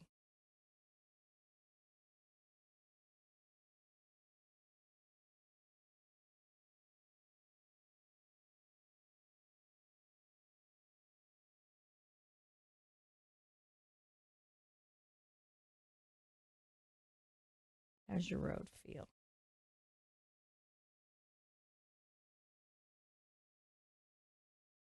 All right.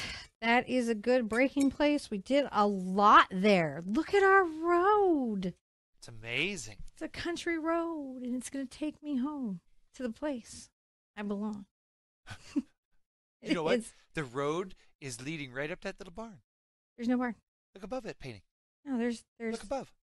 Ow! It was like so funny. The road is leading to the barn. and I'm like, oh, there. Are you like this at home with your? It could also be you're like, leading over to the mushroom dude. There's no barn. There's no barn. It's, it's rocks. I worked really hard to make them look like rocks. What do you mean barn? It's, ab- it's above it. Oh my goodness, how silly. All right, let's have a good laugh. Make sure you're stretching, taking care of your body, breathing in, breathing out. Remembering this project is death steps. You just take your time, process through it, follow along. You've got this. We come back, we're going to continue to add flowers to this amazing scene.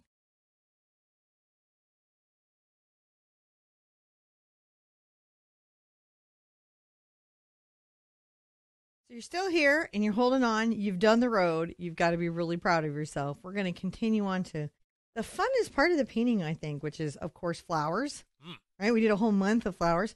Those lessons mostly being under an hour. In all fairness, this one being a little bit more. But we're going to come in here and add some of those flowers. So if you've been like waiting to show off some of those flower skills, you have found the step. I'd also like to let you know I added a little quinacridone magenta to the palette because we'll be adding some pink purple Cosmo to the uh, to the equation, so to speak. And I'm going to begin to fill in these closer grasses and plants. Um, let's start, I think, with a hog again because we're kind of familiar with this process, right? So we have the number 16 Raphael Artini hog, and I'm going to get some of my burnt sienna over to my phthalo green and a little bit of my cad yellow into it. And let's take short little strokes, kind of adding into that. You know, maybe I want it to even be darker than this to start out. I'm going to go back into my phthalo and my burnt sienna. I want to build up maybe some of the depth. And I made that decision because as I was painting here, I thought to myself, that's not dark enough Yeah, as a base. We that's what to, you thought. that's what I thought. All right. Not dark enough. So let's go back and darken this base. Let's give it a depth, right? We could do black and yellow, absolutely, for a very deep green depth. And we may need to, to get it to the kind of value that we need to showcase out the flowers that are in the sun. Uh, I might even take it there in the corner. So I'm just making sure that this area is a darker green to start with. And that's why I changed my mind here. I was like, it just needs more depth if we're going to see anything else. And sometimes when you're painting, you'll be like, oh, we're going to get anything else done. Hmm. We need to have this, you know, be different in a particular way. Contrast value being often a very important part of what we do and how we do it as artists. Short strokes, they're upward on this bright brush, upward strokes. On advanced lessons like this, yeah, tools can matter a little more, more specifics can matter a little more to get those exact results. I'm going to go ahead and do what I talked about before, which is that dark green, the black and yellow. You remember, makes a very deep green. We forget that it makes a green sometimes, but it does. I'm going to take it to the deepest green. Just up here, you know, I definitely want that extra depth. And maybe along the base of the plants here.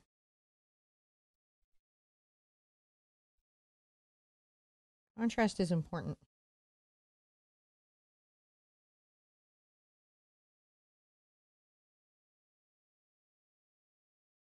We have a lot of bits that'll go a bunch of different directions, and I'm being singular direction at the moment, but that's because we're kind of working a base.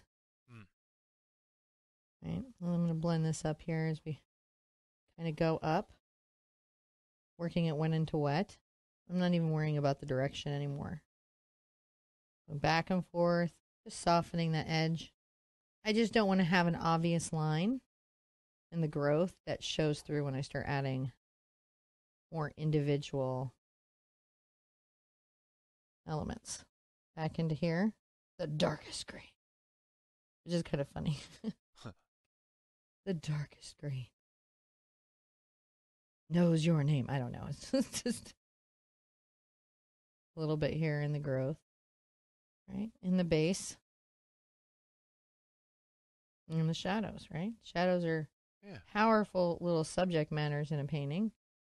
Maybe I'll move some shadows out to the left a bit. John will let me know if I'm getting in the way of the camera. Well, I'm just looking over your right now. Look over your left. I change angles. Mm. All right, this is pretty good. I'm going to rinse out. And I think before I move on, I actually really want to dry this. Um, Yeah. I'm not working wet into wet in the next uh, aspect of it, so I'm going to want it to be dry. I may even get into one of my more detailed tools for this next part just because it's going to give me a better result. I've worked really hard to get here. I might as well work really hard the rest of the way, right? So let's try it. We'll come back. This will be like the shortest step of the whole lesson. the mini books will be like chapters and then beep, and that'll be fine. I'll see you back with it dry and then I'll show you how to finish that out.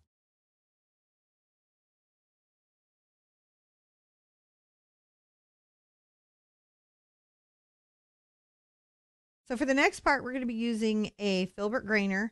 For you at home, if you're looking for this brush, right, because you don't want to take a tiny little detail brush and draw a bunch of little lines, it's sometimes called a filbert grainer. Another type is a grass comb. Either will work. Many brush lines have them. You can find them. I've seen them at Joann's. I've seen them at Michael's. I've seen them at the lobby. I've seen them at all of the art stores, and you can find them on Amazon. So they are out there. And remember, you can always make your own. I'm going to take my particular grainer, the Filbert Grainer by Princeton Velvetouch, and I'm going to go ahead and make some lighter green, like we were kind of doing earlier. But now we mean it. Mm. Now, now we're like, oh yeah, no, we need the lighter grass. So I do like to get just a little brown into it, so it's not cartoonish. And these lines, I'm going to go actually above my greenery line. And the reason for that is is that um you know, plants don't necessarily horticulture themselves. It makes for an interesting, like, oh, there's a little hill here. Well, and they don't just grow in a nice little mowed off it's and it's very interesting that like, especially up here in Pennsylvania, Pennsylvania. I've noticed that grasses grow in these weird little moundy clumps, Yeah, they really do, don't they? and They there's do some stuff. like, and you're I'm all worried there's a giant ant mound underneath it. Like, There's nope, not. It's just like a mound of grass. There's not. When I come down here, I'll make sure I know, let them wander a couple of different directions, right? Because that's what they do. They are not orderly No. or tidy. They do what they like to do when they want to do it. They're not here to listen to you. They're here to grow and get sunlight and be their best selves and live their best cosmo. These are really cosmo flowers, but they're here to live their best little weed life. They're not concerned about you. Sometimes when I'm down at the bottom, what I'll do is I'll grab a little more phthalo green or darker value on my brush, just as a subtle sort of, ah, it's still in shadow. See? Yeah.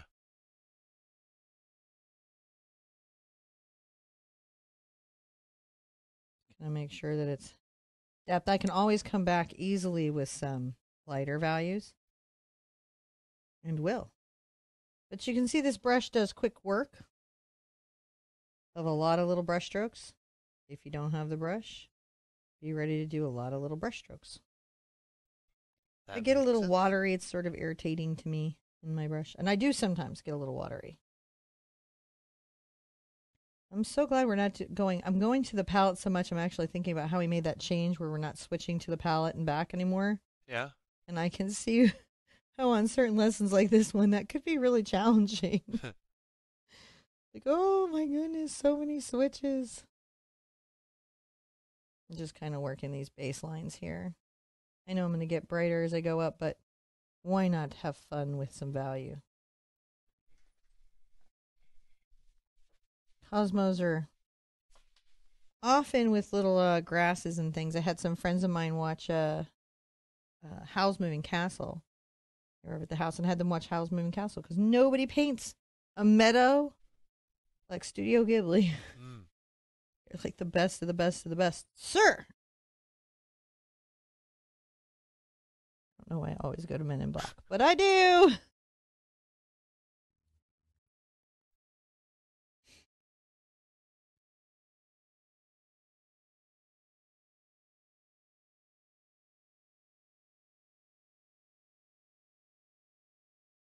Just adding more yellow to it, increasing that value. Uh-huh. But we're also making sure that these lines, see how they're very irregular I do. and they go way, way above my original green line. And the reason for that is it'll also help us make us flout these float these flowers more. Mm. Now again, remember you can make this brush. You can just get a filbert, take scissors and go trimmy, trimmy, trimmy. If there is no brush in your area, right? Because sometimes we live in regions that don't have art stores or big box convenience stores. You know, or you know, maybe your Walmart has art supplies, but they just didn't have this art supply. That's a common thing. Yeah, Every not every place has access to art materials. True. Just buy the filbert that they have and the little scissors and cut away. Enjoy. this sort of undergrass here, it's it's I'm going short lengths and I'm coming forward and what that's gonna do if you'll see step out of the way of my own paint. If you'll see if you'll see is it's letting it build out in depth. It feels full. If I were to go from long strokes to the bottom to the top, it would make it seem like a flat plane. That's why I'm doing kind of shorter stuff in here in little clumps and little areas, is because we know. And remember, you can even do this one. This is one we forget we can do, which is the black and yellow. Quite bright, actually, isn't it? Hmm. Doesn't really matter. Value matters more than anything. So I am going to get back into a hue I like. Hue, color, value, how light and dark.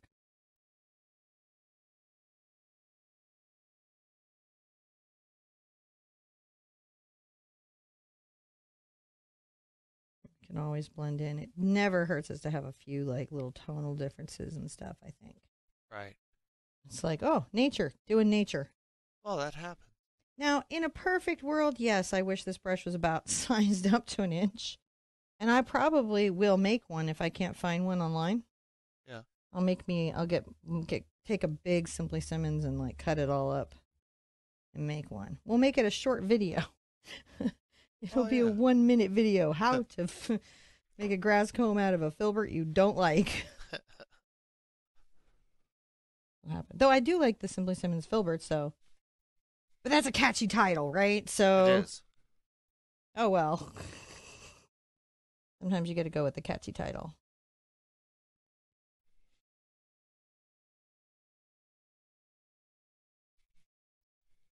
Making sure the top is oh so irregular. That's really got a lot going on. Lots of directions though, don't we? It does. Creating depth. Creating the drama, my friends. So the much drama. The total island drama. My kids watched. Huh. They were really into the storylines. I was like, you know, they've got a live action of this. Put a bunch of adults on an island and starve them for prize money. That's not like gladiatorial Rome at all. anyway, shape, or form. And turn one of them into a talk show host. I am never ever going to agree with what they say because I wasn't into it on the island, but okay. So that's my rambling as I continue to make grass. I don't know if your mind wanders. At this point in a painting, my mind often wanders. I always wonder what you're talking about. Because I don't watch these shows. Well, only twice. you only watch them twice. It's true. And that's if everything goes well. if it goes badly, sometimes I'll come back and put a little brown back in there, right? Little of the other grasses back in. Oh, maybe it wove back in. It wasn't uh, so clear cut there. You can always do that as well. Gonna weave some back in. I think we have said as much as we need to say on this step. This step was pretty involved. So now, now our fields coming closer to us. They're they're kind of have some value. We need another highlight on top of this, though. So, John, I think we have to pursue on. We're not going to go to a whole nother step. I want you to look at it where it is here. We're going to add one more top on top of that. You guys Okay. ready? Yeah. They think they're ready? I think so. Do you guys think you're ready? Okay. You had me all psyched out. I thought you were going to go like, all I right. I, re- I was, and then I was like, man, I'm just going to a highlight step. That's just crazy. All right. So I'm going to add some white into my yellow green mix here.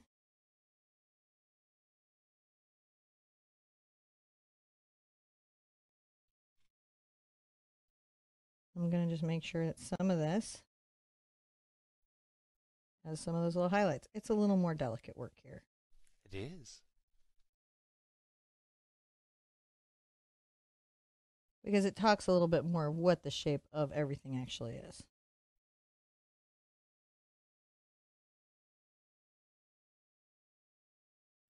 Back here, short little, short little lines.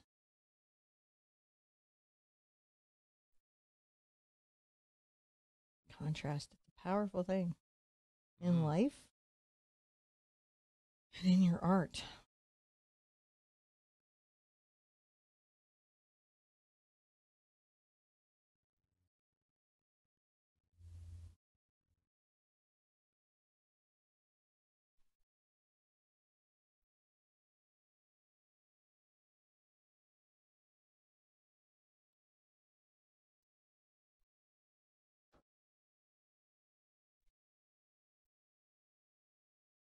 Just short little lines. You can kind of see I'm arcing them down, aren't I? Taking little areas and maybe telling little stories about this little group's together, right?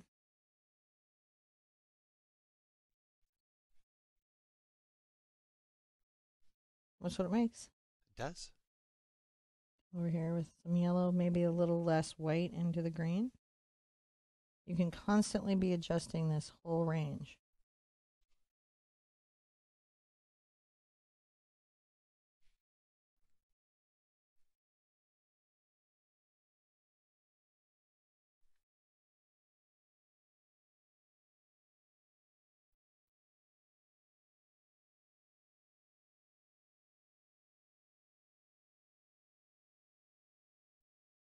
Making this lower part more uh,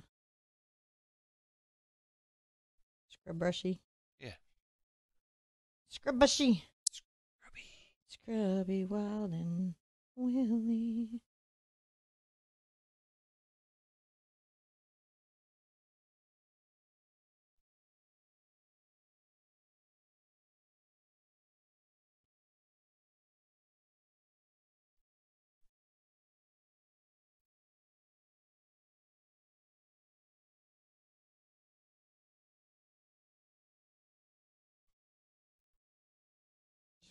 All the little greens. Now it's just this has a lot of dimensionality to it. It really does.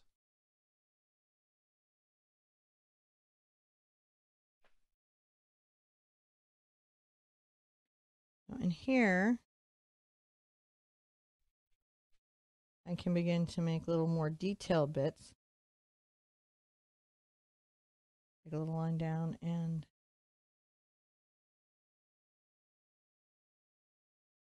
I'm speaking actually to the cosmos more specifically. Isn't that wild? Look at that happen. These flowers perhaps are closer to me. I don't want to get too much detail because I know I'm going to put a couple like close, close detailed flowers. But to make that perspective, I've got to start working them here. Ah.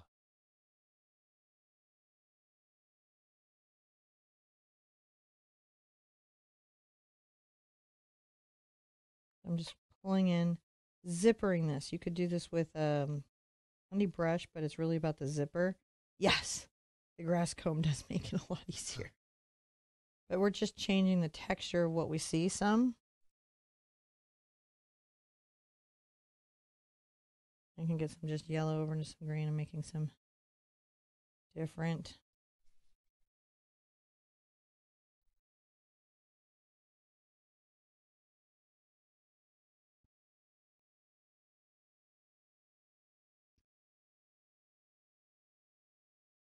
Different little elements there. And then guess what? Back over here.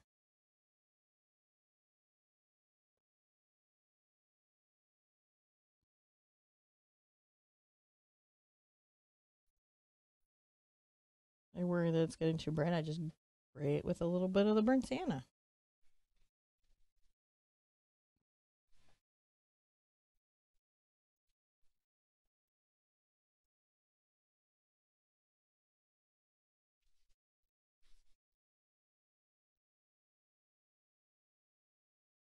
Shorter brush strokes kind of imply more plants densely packed. We're doing here.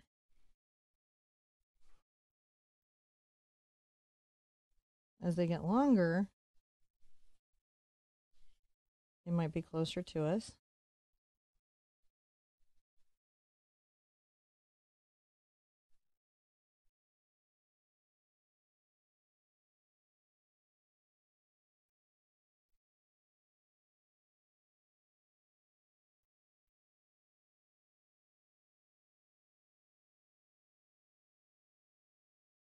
This over to the right and left. A multi-directional here.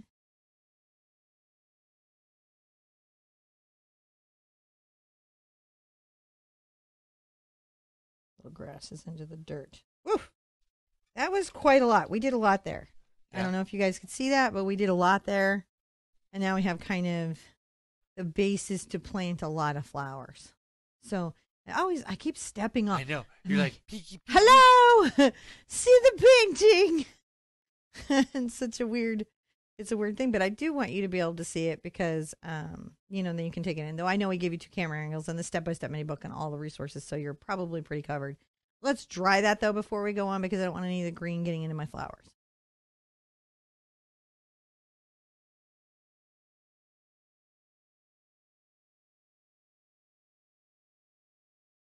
So now we're going to begin the little work of all the little blooms that are going on out in the the greenery, and it's a bit of a it's a bit of a tedious kind of step, but hang in because the work is worth it.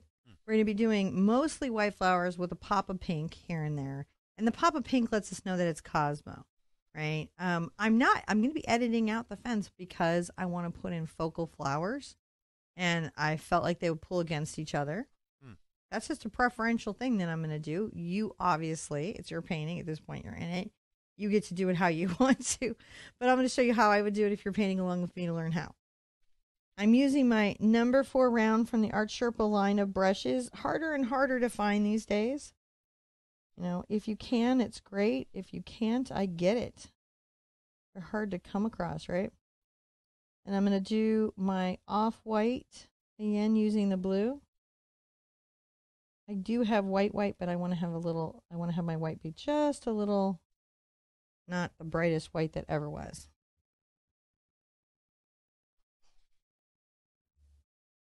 And now my brush strokes. Actually, let me show you something. Let me show you something. All right, here we are. I'll do it in the blue, right? The brush strokes can be a little hard to understand at first. They're little commas. Sometimes connect comma like that. I often counterpose the commas. So I don't know if John can get in here and I'll try to not be so back on the brush. I might comma curved in from that left, coming in through the right, and then maybe across the bottom. I am painting the outer shapes of flowers, not the flowers themselves. It is literally by putting, um, I'll come in and I'll do it in black, centers eventually that will help us really see them as flowers. So that's that's kind of, you know, what we're trying to do. If you can see those brush strokes, this is what this is all going to be. Sometimes it's just two or three, but that's how we get there. And we do them big and small and a lot of them through really we don't get much bigger until we get up here. So it's just a lot. Both sides. Some of them are going to be white, some are going to be pink. Let's change our water so the colors are bright. But that's that's what we're up against, my friends. All those. It's a it's a journey. Journey for me, journey for the editing team, all of whom did not know how big this project was going to be. It's a surprise. it was a surprise for everybody involved. That's when you see me doing these little strokes. What is she doing? That's what I'm doing. These become bigger the closer they are. Keep in mind that far away they're pretty solid and dense. Now I do that stuff all pretty fast now. That's why I wanted to show you sort of slowed down what was happening with my brush.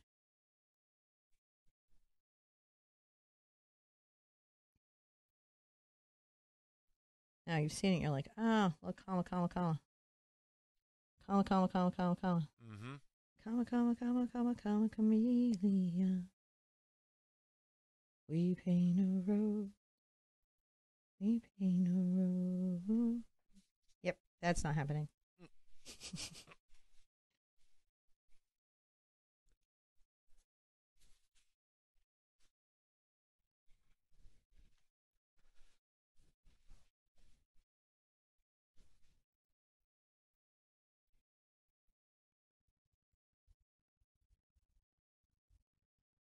Little little flowers appearing on Little the bit. roadside. Well, they really show when I come back through and put in centers and dots and stuff. So you go, oh yeah, they they do. They have that center.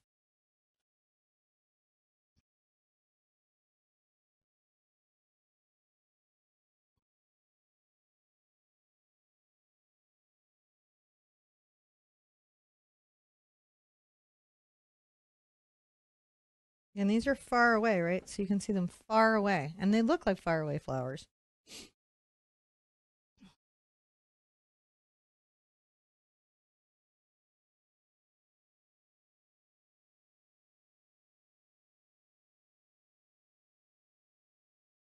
Smaller, further away that they are.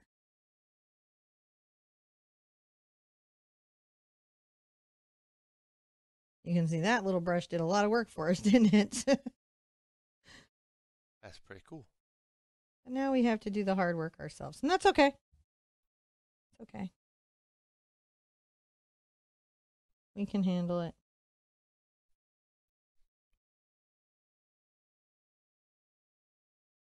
By working close to the white, some of my um, flowers are a little cooler with the blue, and some will be more white, and it'll just make them look like they're in sunlight or not in sunlight. It's a really Ah. cool I've got to do a lot of technique anyways here. So sometimes these decisions um, shorten or make easy some of my work that I have to do.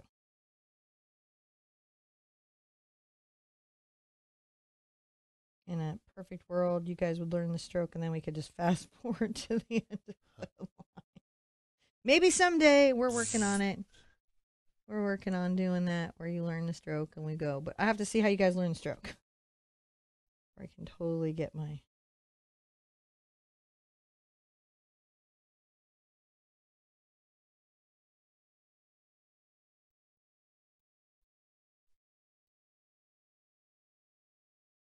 important thing to remember is these little flowers go above the grasslands, right? They're they're pretty pretty above the grass lines and down into them. In the distance, when brushstrokes mold together, it just looks like more flowers that are working together.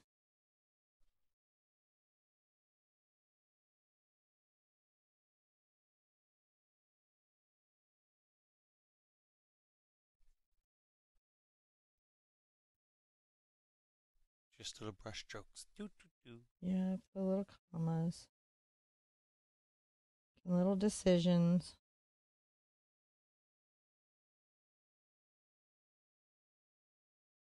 Sometimes a flower is expressed with just one brush stroke. Sometimes it's with multiples. Um, if you did uh, the 30 days of bloom, at this point you're like, yeah, yeah, I see the flowers. Yeah.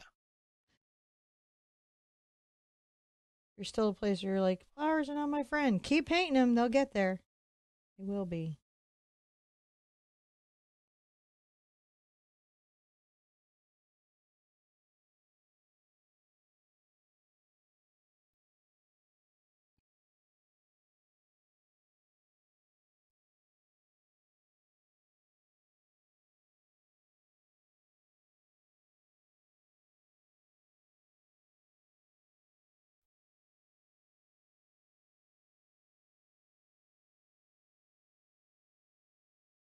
And we still got like pinks to take in, and it is quiet work. Sometimes I'll get quiet because it's quiet work. Yeah. There we go. They're just, you know, little layers of flowers.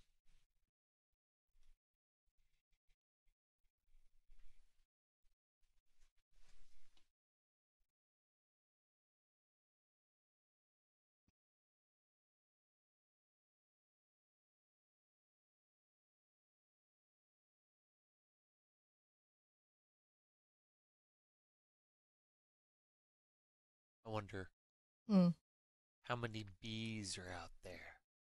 You know, I thought on the up close flowers of like doing bees or flowers, and I was just like, you know, people are tired. you could bee it up though. I think so. I think you could add butterflies and bees to the thing. I really thought about it, and I think if we had like a week more to film it, I would have done it. Next one. It's the painting that never ends. No, this is good. This is about what you expect to get a painting like this. This is the time it takes, you know? I mean, you could just keep going and going. There is there is no reason to stop if you're not tired. If you are tired, you should definitely stop, rest, and start again. This would be a tough one to paint live live. I would watch it live, enjoy the chat, have a social moment, and then definitely get into it with the mini book and the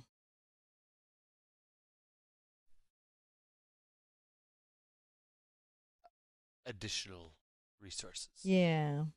Like my brain just went mm, Because you're making tiny flowers. and see how my tiny flower. Oh, they look. It's very bloomed, isn't it? It is. I may have bloomed too much. Who knows? the woman who bloomed too much. I don't know if that's possible. I don't know if either. I think uh, flowers are sort of rewarding subjects. Hmm.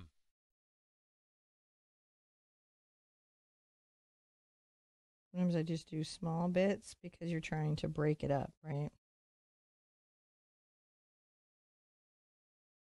Come up here above everything with more white.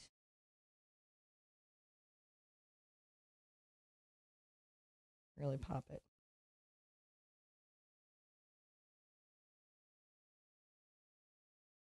I haven't even gotten into pink yet. Oh my goodness. This painting. This is so many layers. So many. So many layers.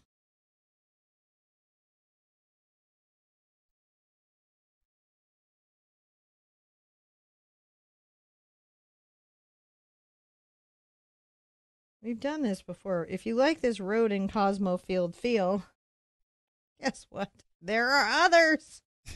You can do this. There's one with a sunset. Apparently, I really like this topic. Actually, when I initially looked at it, I thought that they were kind of a white daisy. Um, and then I realized, oh, they're just white Cosmo.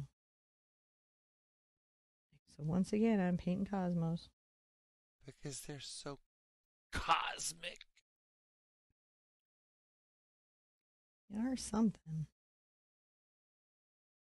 And again, we won't really see them until I come in and, and center some of the flowers with my little monogram line or my little detail. Such a very long journey. So long to done. It's okay. And I'm really cooking.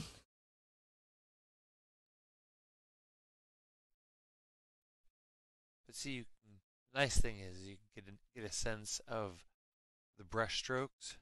Yeah. So I've kind of got a full view of your hand there. So Well, And that's good. Seeing them go down and understanding how this little messy little wiggle wiggle turns into brushes is always good for you.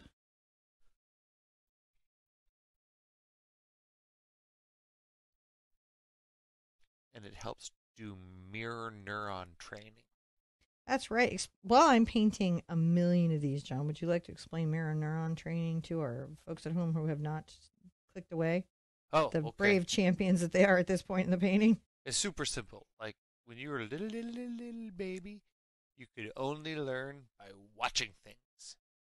And so this has a whole set of like special neurons in your brain that are called mirror neurons. And you know, I'm oversimplifying this. Like there's an entire science behind it. So this is like dinner conversation level explanation. Um, Dinner conversation with John, anyways. yeah. So these mirror neurons, um, they learn from watching. So when you watch people do something, your brain goes, "Oh, I'm learning. I'm doing that in my brain. I'm creating a simulation of me doing that same thing." And that helps create it so that later on you can go do that yourself. And as you become a bigger and bigger human, you will have more capacity to make those same movements and do those same things that your brain watched and mirrored. Kind of cool. It is, and it also let me paint a lot, bunch of little flowers in a very meditative state. Thank you. And golfers are well known for doing this. Like you'll find these golfer tapes, which is just some golfer Hit a ball. standing there swinging a club. Well, we've learned a lot about that because our latest retreat was at the world's first golf course. Well, America's Oh, first America's golf course. first. America's first golf course, not the world's. Ah. I don't know. I don't know golf. We don't want to get into the golf disputes No, I- I- origin. No, it's. I think it's Scotland, isn't it? I, I I think so too, but I mean, you know, there's always Dude, there's like- always an a your usurper saying, "No, we did it first. I'm just not up to the Not my field. The golf, the forensic and history of golf. who hit the ball with a stick first and called it a game. Uh, well, that's way long ago. So, origins of golf. What are you gonna go do? But I think that our modern interpretation did come from Scotland. But Yeah, I'm not super. you're you're not taking away from Az, uh, any Aztec people or Mm, probably hit a ball. there's so you know who knows.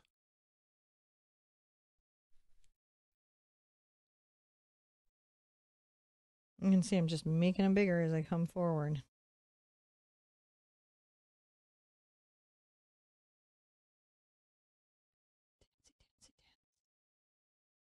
Seems like a very human thing to do. Dancey I can hit this ball with this stick farther than you can. Oh yeah? Well, I can get it into that hole that's way out there. Oh yeah? Well, I can do it with one swing. oh yeah, I can paint that golf course and really upset all the golfers by not putting the flag in the right place, as my mom did once. My mom did this really gorgeous painting of a golf course, and she just put the flags where she thought that they would look nice. And people were like, "How do you play that hole?" and, and she couldn't sell the painting till she moved the flag to where they thought they could play the hole in their imaginary golf course. do, do, do. it was so funny.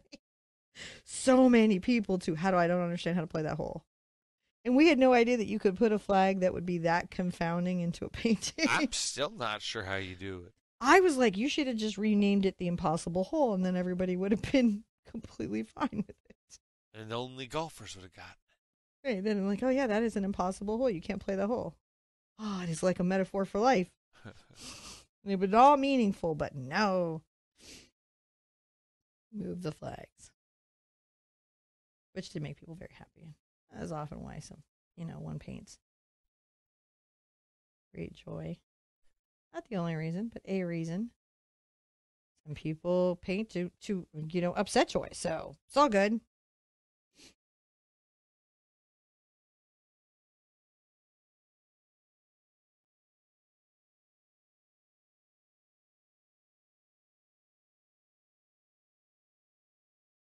kind of coming in here and just diffusing, just making sure it feels like a very solid.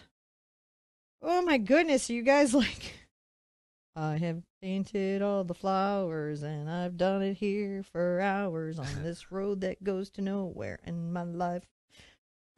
I have painted all the flowers and I'm sitting here for hours on this road that goes to nowhere in my life. I mean, cut yourself. I understand the heart of country now. Oh, oh feel free to ri- finish writing the song and printing it up and s- putting it in group. You guys are so much more creative than I am. That'll be funny. We had, uh, I don't know where it went. I had the paper here somewhere. Cheer wrote, written for uh, the retreat because my mom and I would come raid each other's rooms with like different cheers and chants and things. And it was very funny and fun and fun. You guys had, did have a lot of fun. We did have a lot of fun. Oh, just did nothing but eat and sleep and paint. Kind of like right now that you're doing with me, going, I just, I, you know, I clicked the thumbnail. It was pretty. I thought, oh, this would be nice on my wall. And this lady teaches beginners how to paint. And I've been here for 10 days. Help me. Help me.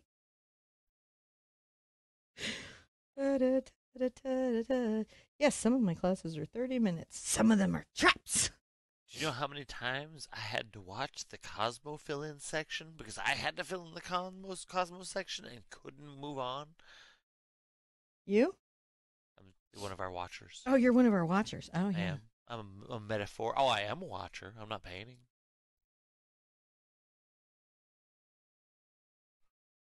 A little bigger down here. Brush strokes are a little stronger.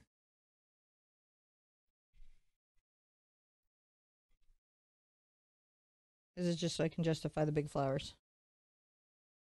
Why am I still doing the big flowers, John? Uh, because I planned it all along and the whole painting is designed around it, I guess, is what's happening. Dun dun. Dun, dun. A little more white. Add it to the petals.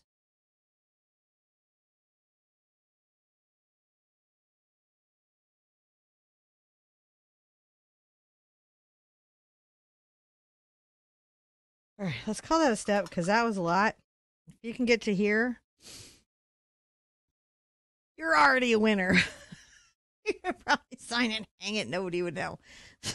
but we're going to continue on. I'm going to dry it so you can come back through some with some pinks and some centers. Thank you for being here. If you're still here, throw it down in the comments and be like, I'm still here. I'm still going.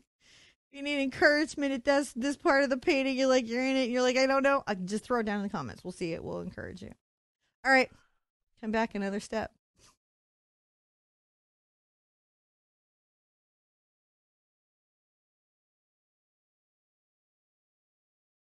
I'm going to go through and put in a smattering of pink flowers and also some centers to the whites. Highlight the whites uh, if I need to to just give them some dimensionality. How that's going to be done is I'm going to come back in. I'm going to go with initially a number one liner, script liner, monogram liner. Any of them is fine. I'm going to just get some, get a little black. I think that contrast is going to be super wonderful.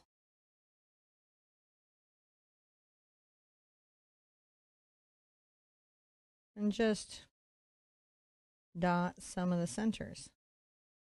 Dots are small, but because they're high contrast, they'll really read as what they are.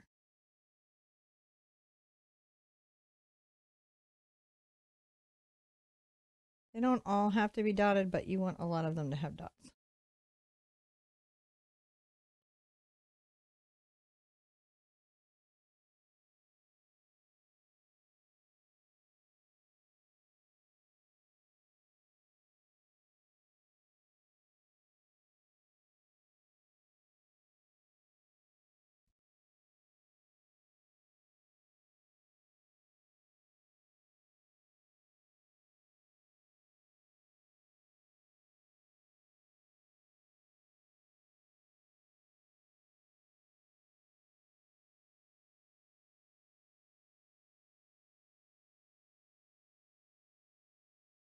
We just dot through.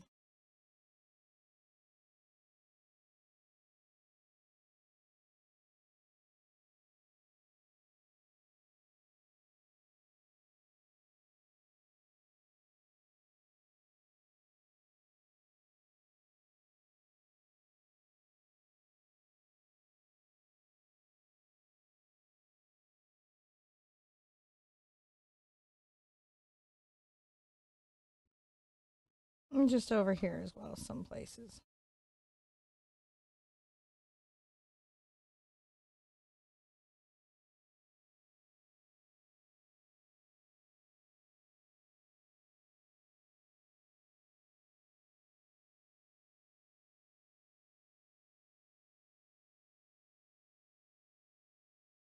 If they're farther away, they have to be smaller dots.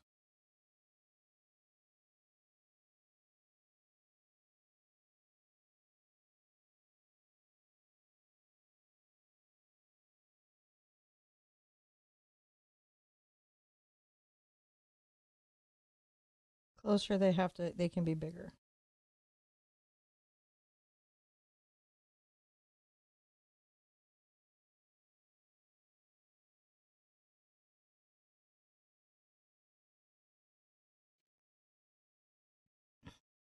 Sometimes I will rinse out and reload just because, you know, the paint can dry on your brush some. Hard to stand back from the canvas while dotting, but sometimes I have to for filming. You're okay. I've got a couple angles on you. Nah, We all know what a dot looks like. I mean, do you? Do you? I don't know. All right. So that's sort of general dotting, which gives us the sense that these are a little more flowers. It's just another visual cue. We have that in. I'm going to go back to my number four round. Get it wet, pull out some pink. And I'll just go ahead and mix it over here towards where the white was. It can even get a little of the altering blue into it to kind of purple it a bit, as it do. Mix it in. There you go. So it's got some ranges there.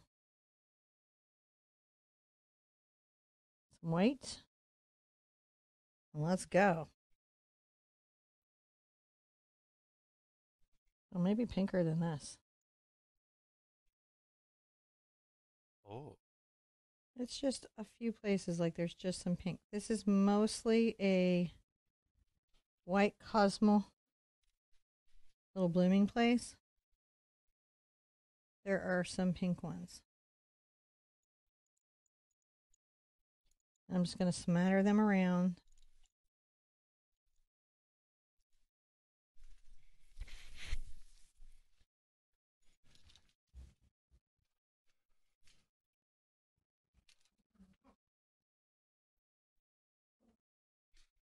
Dog herd.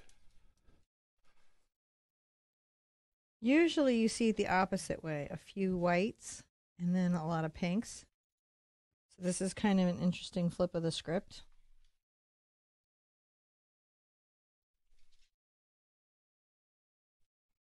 Uh oh. We may have to like let them go somewhere. They're, They're- playing. They're in full play mode. They're run, run, run, run. They're at full play, man, guys. I don't know what to tell you. They're at full play.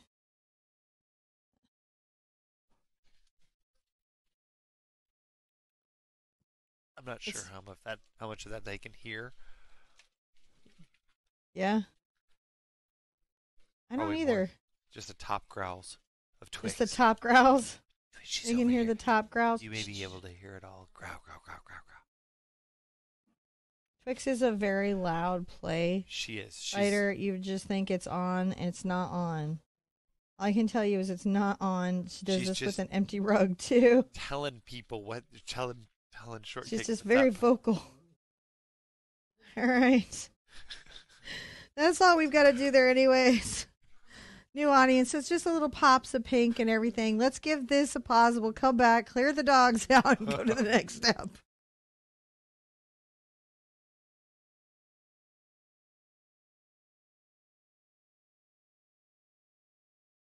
So I want to come back through with a detail brush and pop a couple of things um, just to make sure that these distant flowers are still stars or superstars within the painting. I'm going to go back into my one number one liner, Princeton liner, and I'm going to grab some pink. Sometimes I like to get it with a little yellow, so it just is a little more warm and saturated. And it pops a little bit. I'm going to load up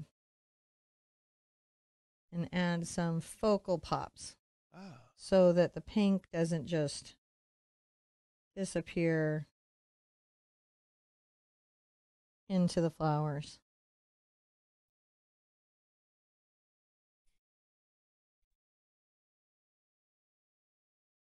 Otherwise, they just tend to vanish away.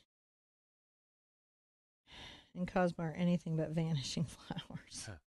They really just don't.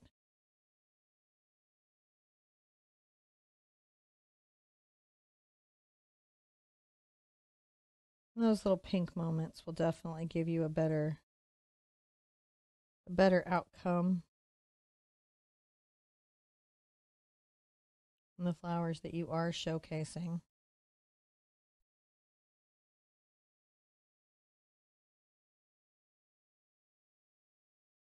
Like maybe make a little grouping of pinks back there.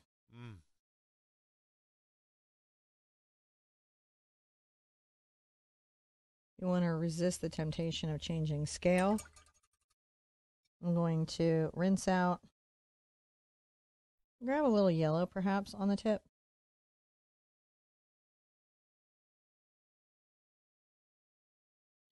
And I'll center some of them with yellow.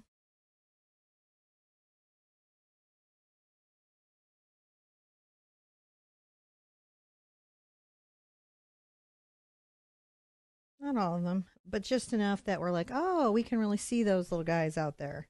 yeah. Another nice little touch that you can do. I'm going to load up some pure white. You could do this with fluid if you wanted.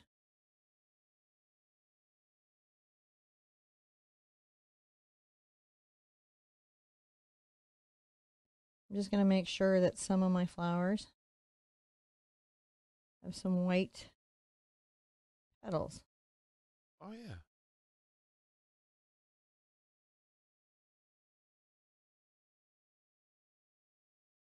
And this really shows up because we went to the trouble of doing them in that uh, kind of off white range so that there was room to highlight some of them.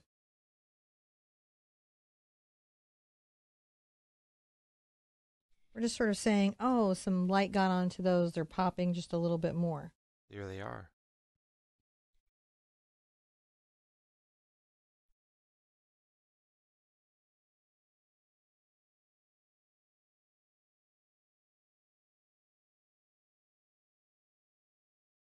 I'll just come through here and just find little bits of flowers. Maybe exaggerate.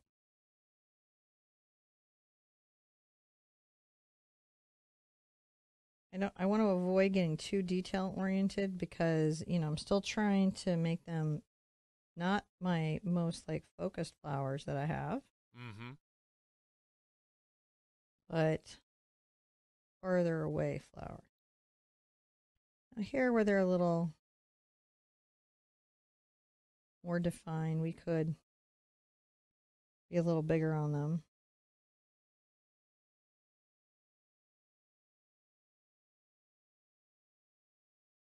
And perhaps a little more thoughtful in how they are shaped. I got a little pink there. That was unintentional, but I rather like it. Oh yeah. And that'll happen sometimes. Sometimes you'll be going along, you're like, oh, I got a little, a little moment there I didn't expect, and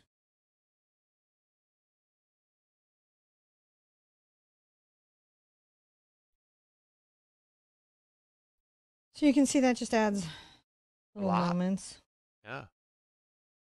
something. It's a nice little touch to do. This has been such a long art journey. And I was going to tack on another hour with some big flowers up front. But when I looked at it, when I kind of worked it out in chalk, it just wasn't going. It didn't work. And uh, that will happen sometimes where you have an idea of something you're going to do with a painting, but then in actuality, it doesn't quite play. And you can see I like me some big flowers behind me, but it just wasn't working for the framing of this particular one. So I realized for your enjoyment and my enjoyment, we should stop here. and we're going to, I'm going to sign it. And then uh, I'm going to sign it. So let's sign it, right, John? All right. Let's give this a little signature. I'm going to come over here. And I think I'm going to get into my, um, like a little white and uh, perhaps yellow. So it's sort of a light beigey sand color, but lighter than what we've done elsewhere.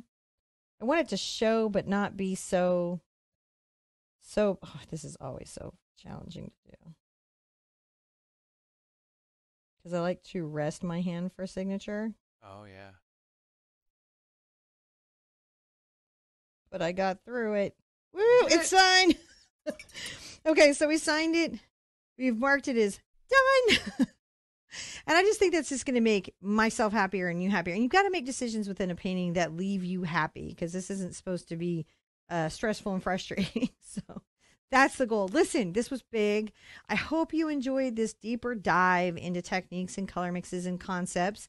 Uh, we'll be coming back with uh, obviously some shorter videos that are not quite as involved. And then I'll come back with some more involved videos as well. I hope you like some of the new things we added in, like demoing brushstrokes and grass and everything. Tell us what you thought of this lesson. If you're still here, definitely want your feedback because you're exactly who I'm teaching for. Leave the feedback in the comments below, and I do read that. I read that uh, currently when the video releases, and I I read it years from now because of luckily YouTube lets me see uh, comments from older videos that are newly posted as well as new video comments. What do you think, John? I think so. Do you think they were brave? I love it. I love the road. I, I love the road too. We're all on a journey, aren't we? This will be our metaphorical journey. Guys, be good to yourselves. Seriously, be good to each other. Be kind out there. And I want to see you in an easel really soon. Bye bye.